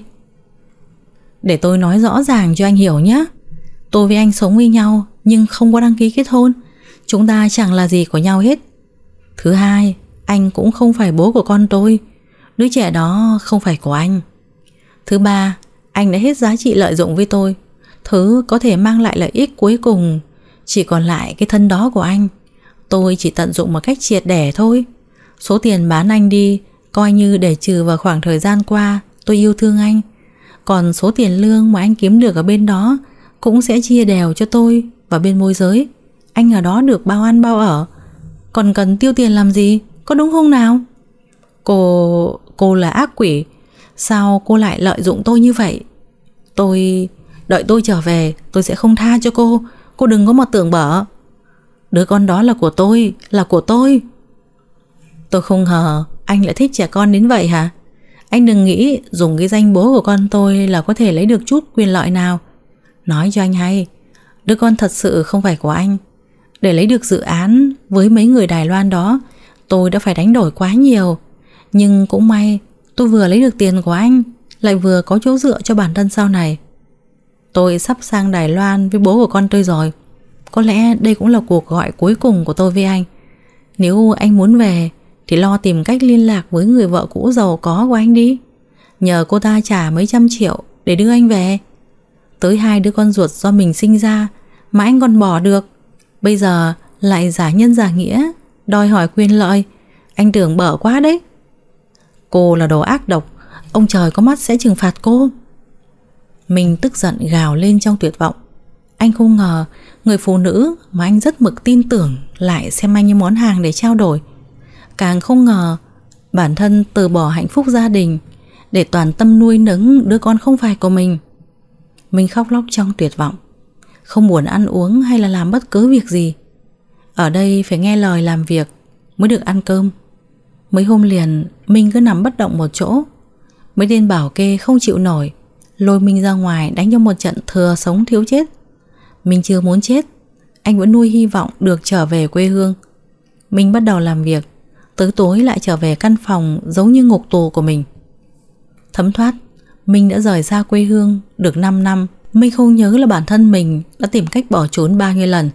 Chỉ nhớ sau mỗi lần bị bắt lại, Thì thứ chờ đón Minh Chính là những trận đòn roi, Đau thấu xương tủy. Những lần bị bỏ đói tới ngất xỉu, Những công việc bẩn thỉu đến cùng cực. Dạo gần đây, Minh hay mất ngủ, Bụng già ăn uống cũng kém. Mình nghĩ do bản thân cũng đã bước vào độ tuổi trung tuần. Sức khỏe suy yếu Cũng là điều đương nhiên. Sáng nay, lúc mới ngủ dậy, Thì Minh buồn nôn, Chạy ra ngoài nôn khan một trận. Trong bụng chẳng có gì ngoài nước. Tối qua, Minh chỉ ăn chút cháo loãng. Giờ trong bụng óc ách khó chịu, Nhưng Minh cũng mặc kệ. Ôm cái bụng đau mà đi làm tiếp. Mấy tuần trời Minh vẫn vậy, Cứ buồn nôn và nôn liên tục. Cơ thể sụt cân nhanh chóng, Chẳng mấy chốc mà đã còn da bọc xương. Rồi dần dần Minh còn nôn ra máu, Ruột gan đau thắt liên tục. Ăn vào cũng đau, Mà để đói thì còn khủng khiếp hơn. Minh nhiều lần nhờ mấy tên bảo kê đưa mình đến bệnh viện. Nhưng chúng sợ Minh viện cớ Rồi bỏ trốn nên là chúng từ chối. Cho tới khi Minh đau quá mà ngất đi, Chúng mới đi tìm một bác sĩ tới chẩn đoán qua loa, Nói là Minh bị đau dạ dày, Kê cho Minh vài viên thuốc chống viêm rồi bỏ về mình uống thuốc dòng dã một tháng mà không đỡ. May mắn vài người Việt Nam thương tình, Nên cùng nhau xin mấy người bảo kê cho Minh tới bệnh viện. Bác sĩ thử máu, Khám xét kỹ lưỡng rồi lắc đầu. Ung thư dạ dày rồi, Sao để tới mức này mới đưa đến đây? Chúng tôi bó tay rồi, Cậu ấy không còn nhiều thời gian nữa. Mọi người đưa cậu ấy về đi. Hồi Minh mới rời đi được 2 tháng, Bà Hậu ngày ngày lo lắng cho con không biết Minh đang ở đâu mà tìm. Nhàn cũng không yên tâm. Cô dò la khắp nơi tìm tung tích của Minh, Nhưng bật vô âm tín. Cùng đường, Nhàn nhờ thám tử tư tìm được Hồng. Minh Đi chưa được bao lâu mà cô ta đã cặp kè với một người Đài Loan, Ngày ngày đưa đàn ông ra vào căn hộ từng cùng Minh sinh sống. Gặp Nhàn, Hồng tỏ ra rừng rưng, như không có chuyện gì. Ban đầu khi nghe Nhàn hỏi tung tích của Minh Hồng còn quanh co mãi. Nhàn biết cô ta giấu giếm gì đó. Cô không hỏi trực tiếp nữa Mà tìm hiểu về công việc của Hồng. Không cha thì không biết. Hóa ra phía sau bộ mặt xinh đẹp yêu kiều kia lại là con người mưu mô xảo quyệt. Người chồng đầu tiên vốn không phải là kẻ trăng hoa bỏ bê gia đình như Hồng vẫn nói. Anh ta là một cậu ấm chính hiệu, nhưng đầu óc không nhạy bén, bị Hồng lừa không ít tiền, bị biến thành cầu nối giúp cô ta quen biết thêm nhiều đại gia khác. Đứa con đầu tiên của Hồng với chồng cũ cũng không phải con của anh ta. Đến bố của đứa trẻ là ai Hồng cũng không biết. Sau khi người chồng phát hiện ra chuyện đó thì lập tức đuổi hai mẹ con Hồng đi Hồng cũng không vừa Ôm theo đứa con đi rêu rao khắp nơi Chồng là kẻ ngoại tình Hồng còn lừa không ít người đầu tư vào mấy công ty ma Nhàn mang theo những chứng cứ đó tới tìm Hồng Tới lúc này Cô ta mới hốt hoảng nói cho Nhàn biết chuyện đã lừa Minh sang Campuchia. Giây phút nghe được những lời thú nhận của Hồng, Nhàn lặng người đi, trái tim như bị bóp chặt tới mức không thở nổi. Nhàn ép Hồng liên lạc lại với kẻ môi giới kia để tìm Minh, nhưng không thành. Mấy năm trời, Nhàn cùng bà Hậu và Quyết dòng dã tìm kiếm tung tích của Minh. Bà Hậu đã có tuổi, những lo âu khiến bà già đi trông thấy. Ngày ngày bà thắp hương niệm Phật, cầu khẩn có một phép màu để bà tìm lại được con. Ông trời như nghe thấu lòng bà, và một ngày cuối đông, Nhàn ra biên giới đón một cậu trai trẻ từ Campuchia trở về. Cậu thanh niên là cháu trai của một người quen của Nhàn bị lừa sang Campuchia cách đây 2 năm. Nhàn dùng mọi cách để chuộc cậu thanh niên đó về, mang một chút hy vọng, biết đâu cậu ta gặp được Minh ở khu tập trung.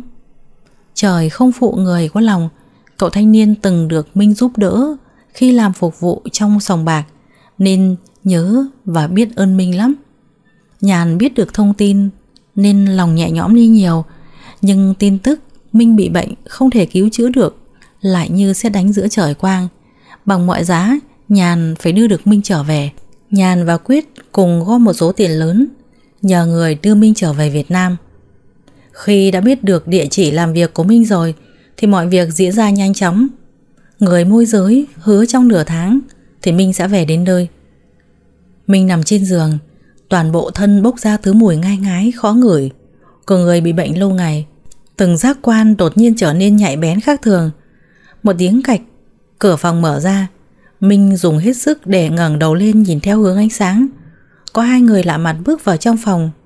Tới bên giường bệnh của Minh, họ nhẹ nhàng đưa Minh nằm lên cáng rồi khiêng ra ngoài. Minh nghĩ họ là người của chủ nhà trọ.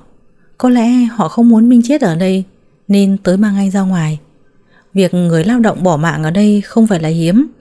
Có người bị đánh chết, có người trốn ra ngoài rồi đi lạc mà đói chết. Có người bị tai nạn lao động chết.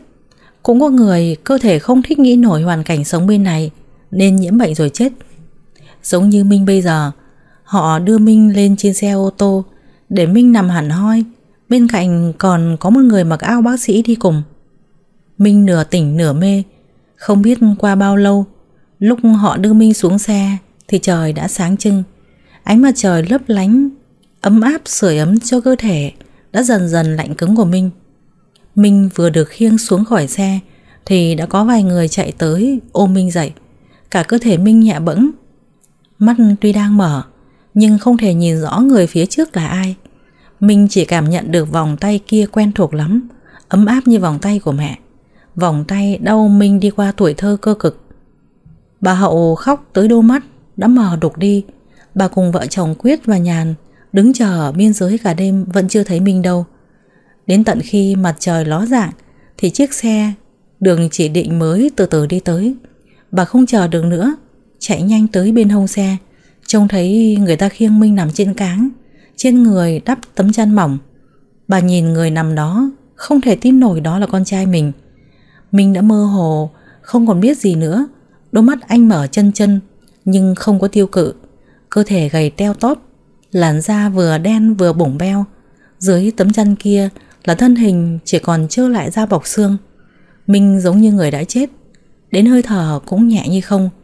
Bà Hậu ôm con mà khóc ngất đi Quyết không chịu nổi Gục ngay trên vệ đường Nhàn nén nỗi bi thương nắm lên bàn tay gầy gò của Minh Bàn tay anh vẫn nắm chặt chiếc nhẫn vàng mà Nhàn đã đưa trước khi Minh rời đi. Đó vốn là đồ của các con.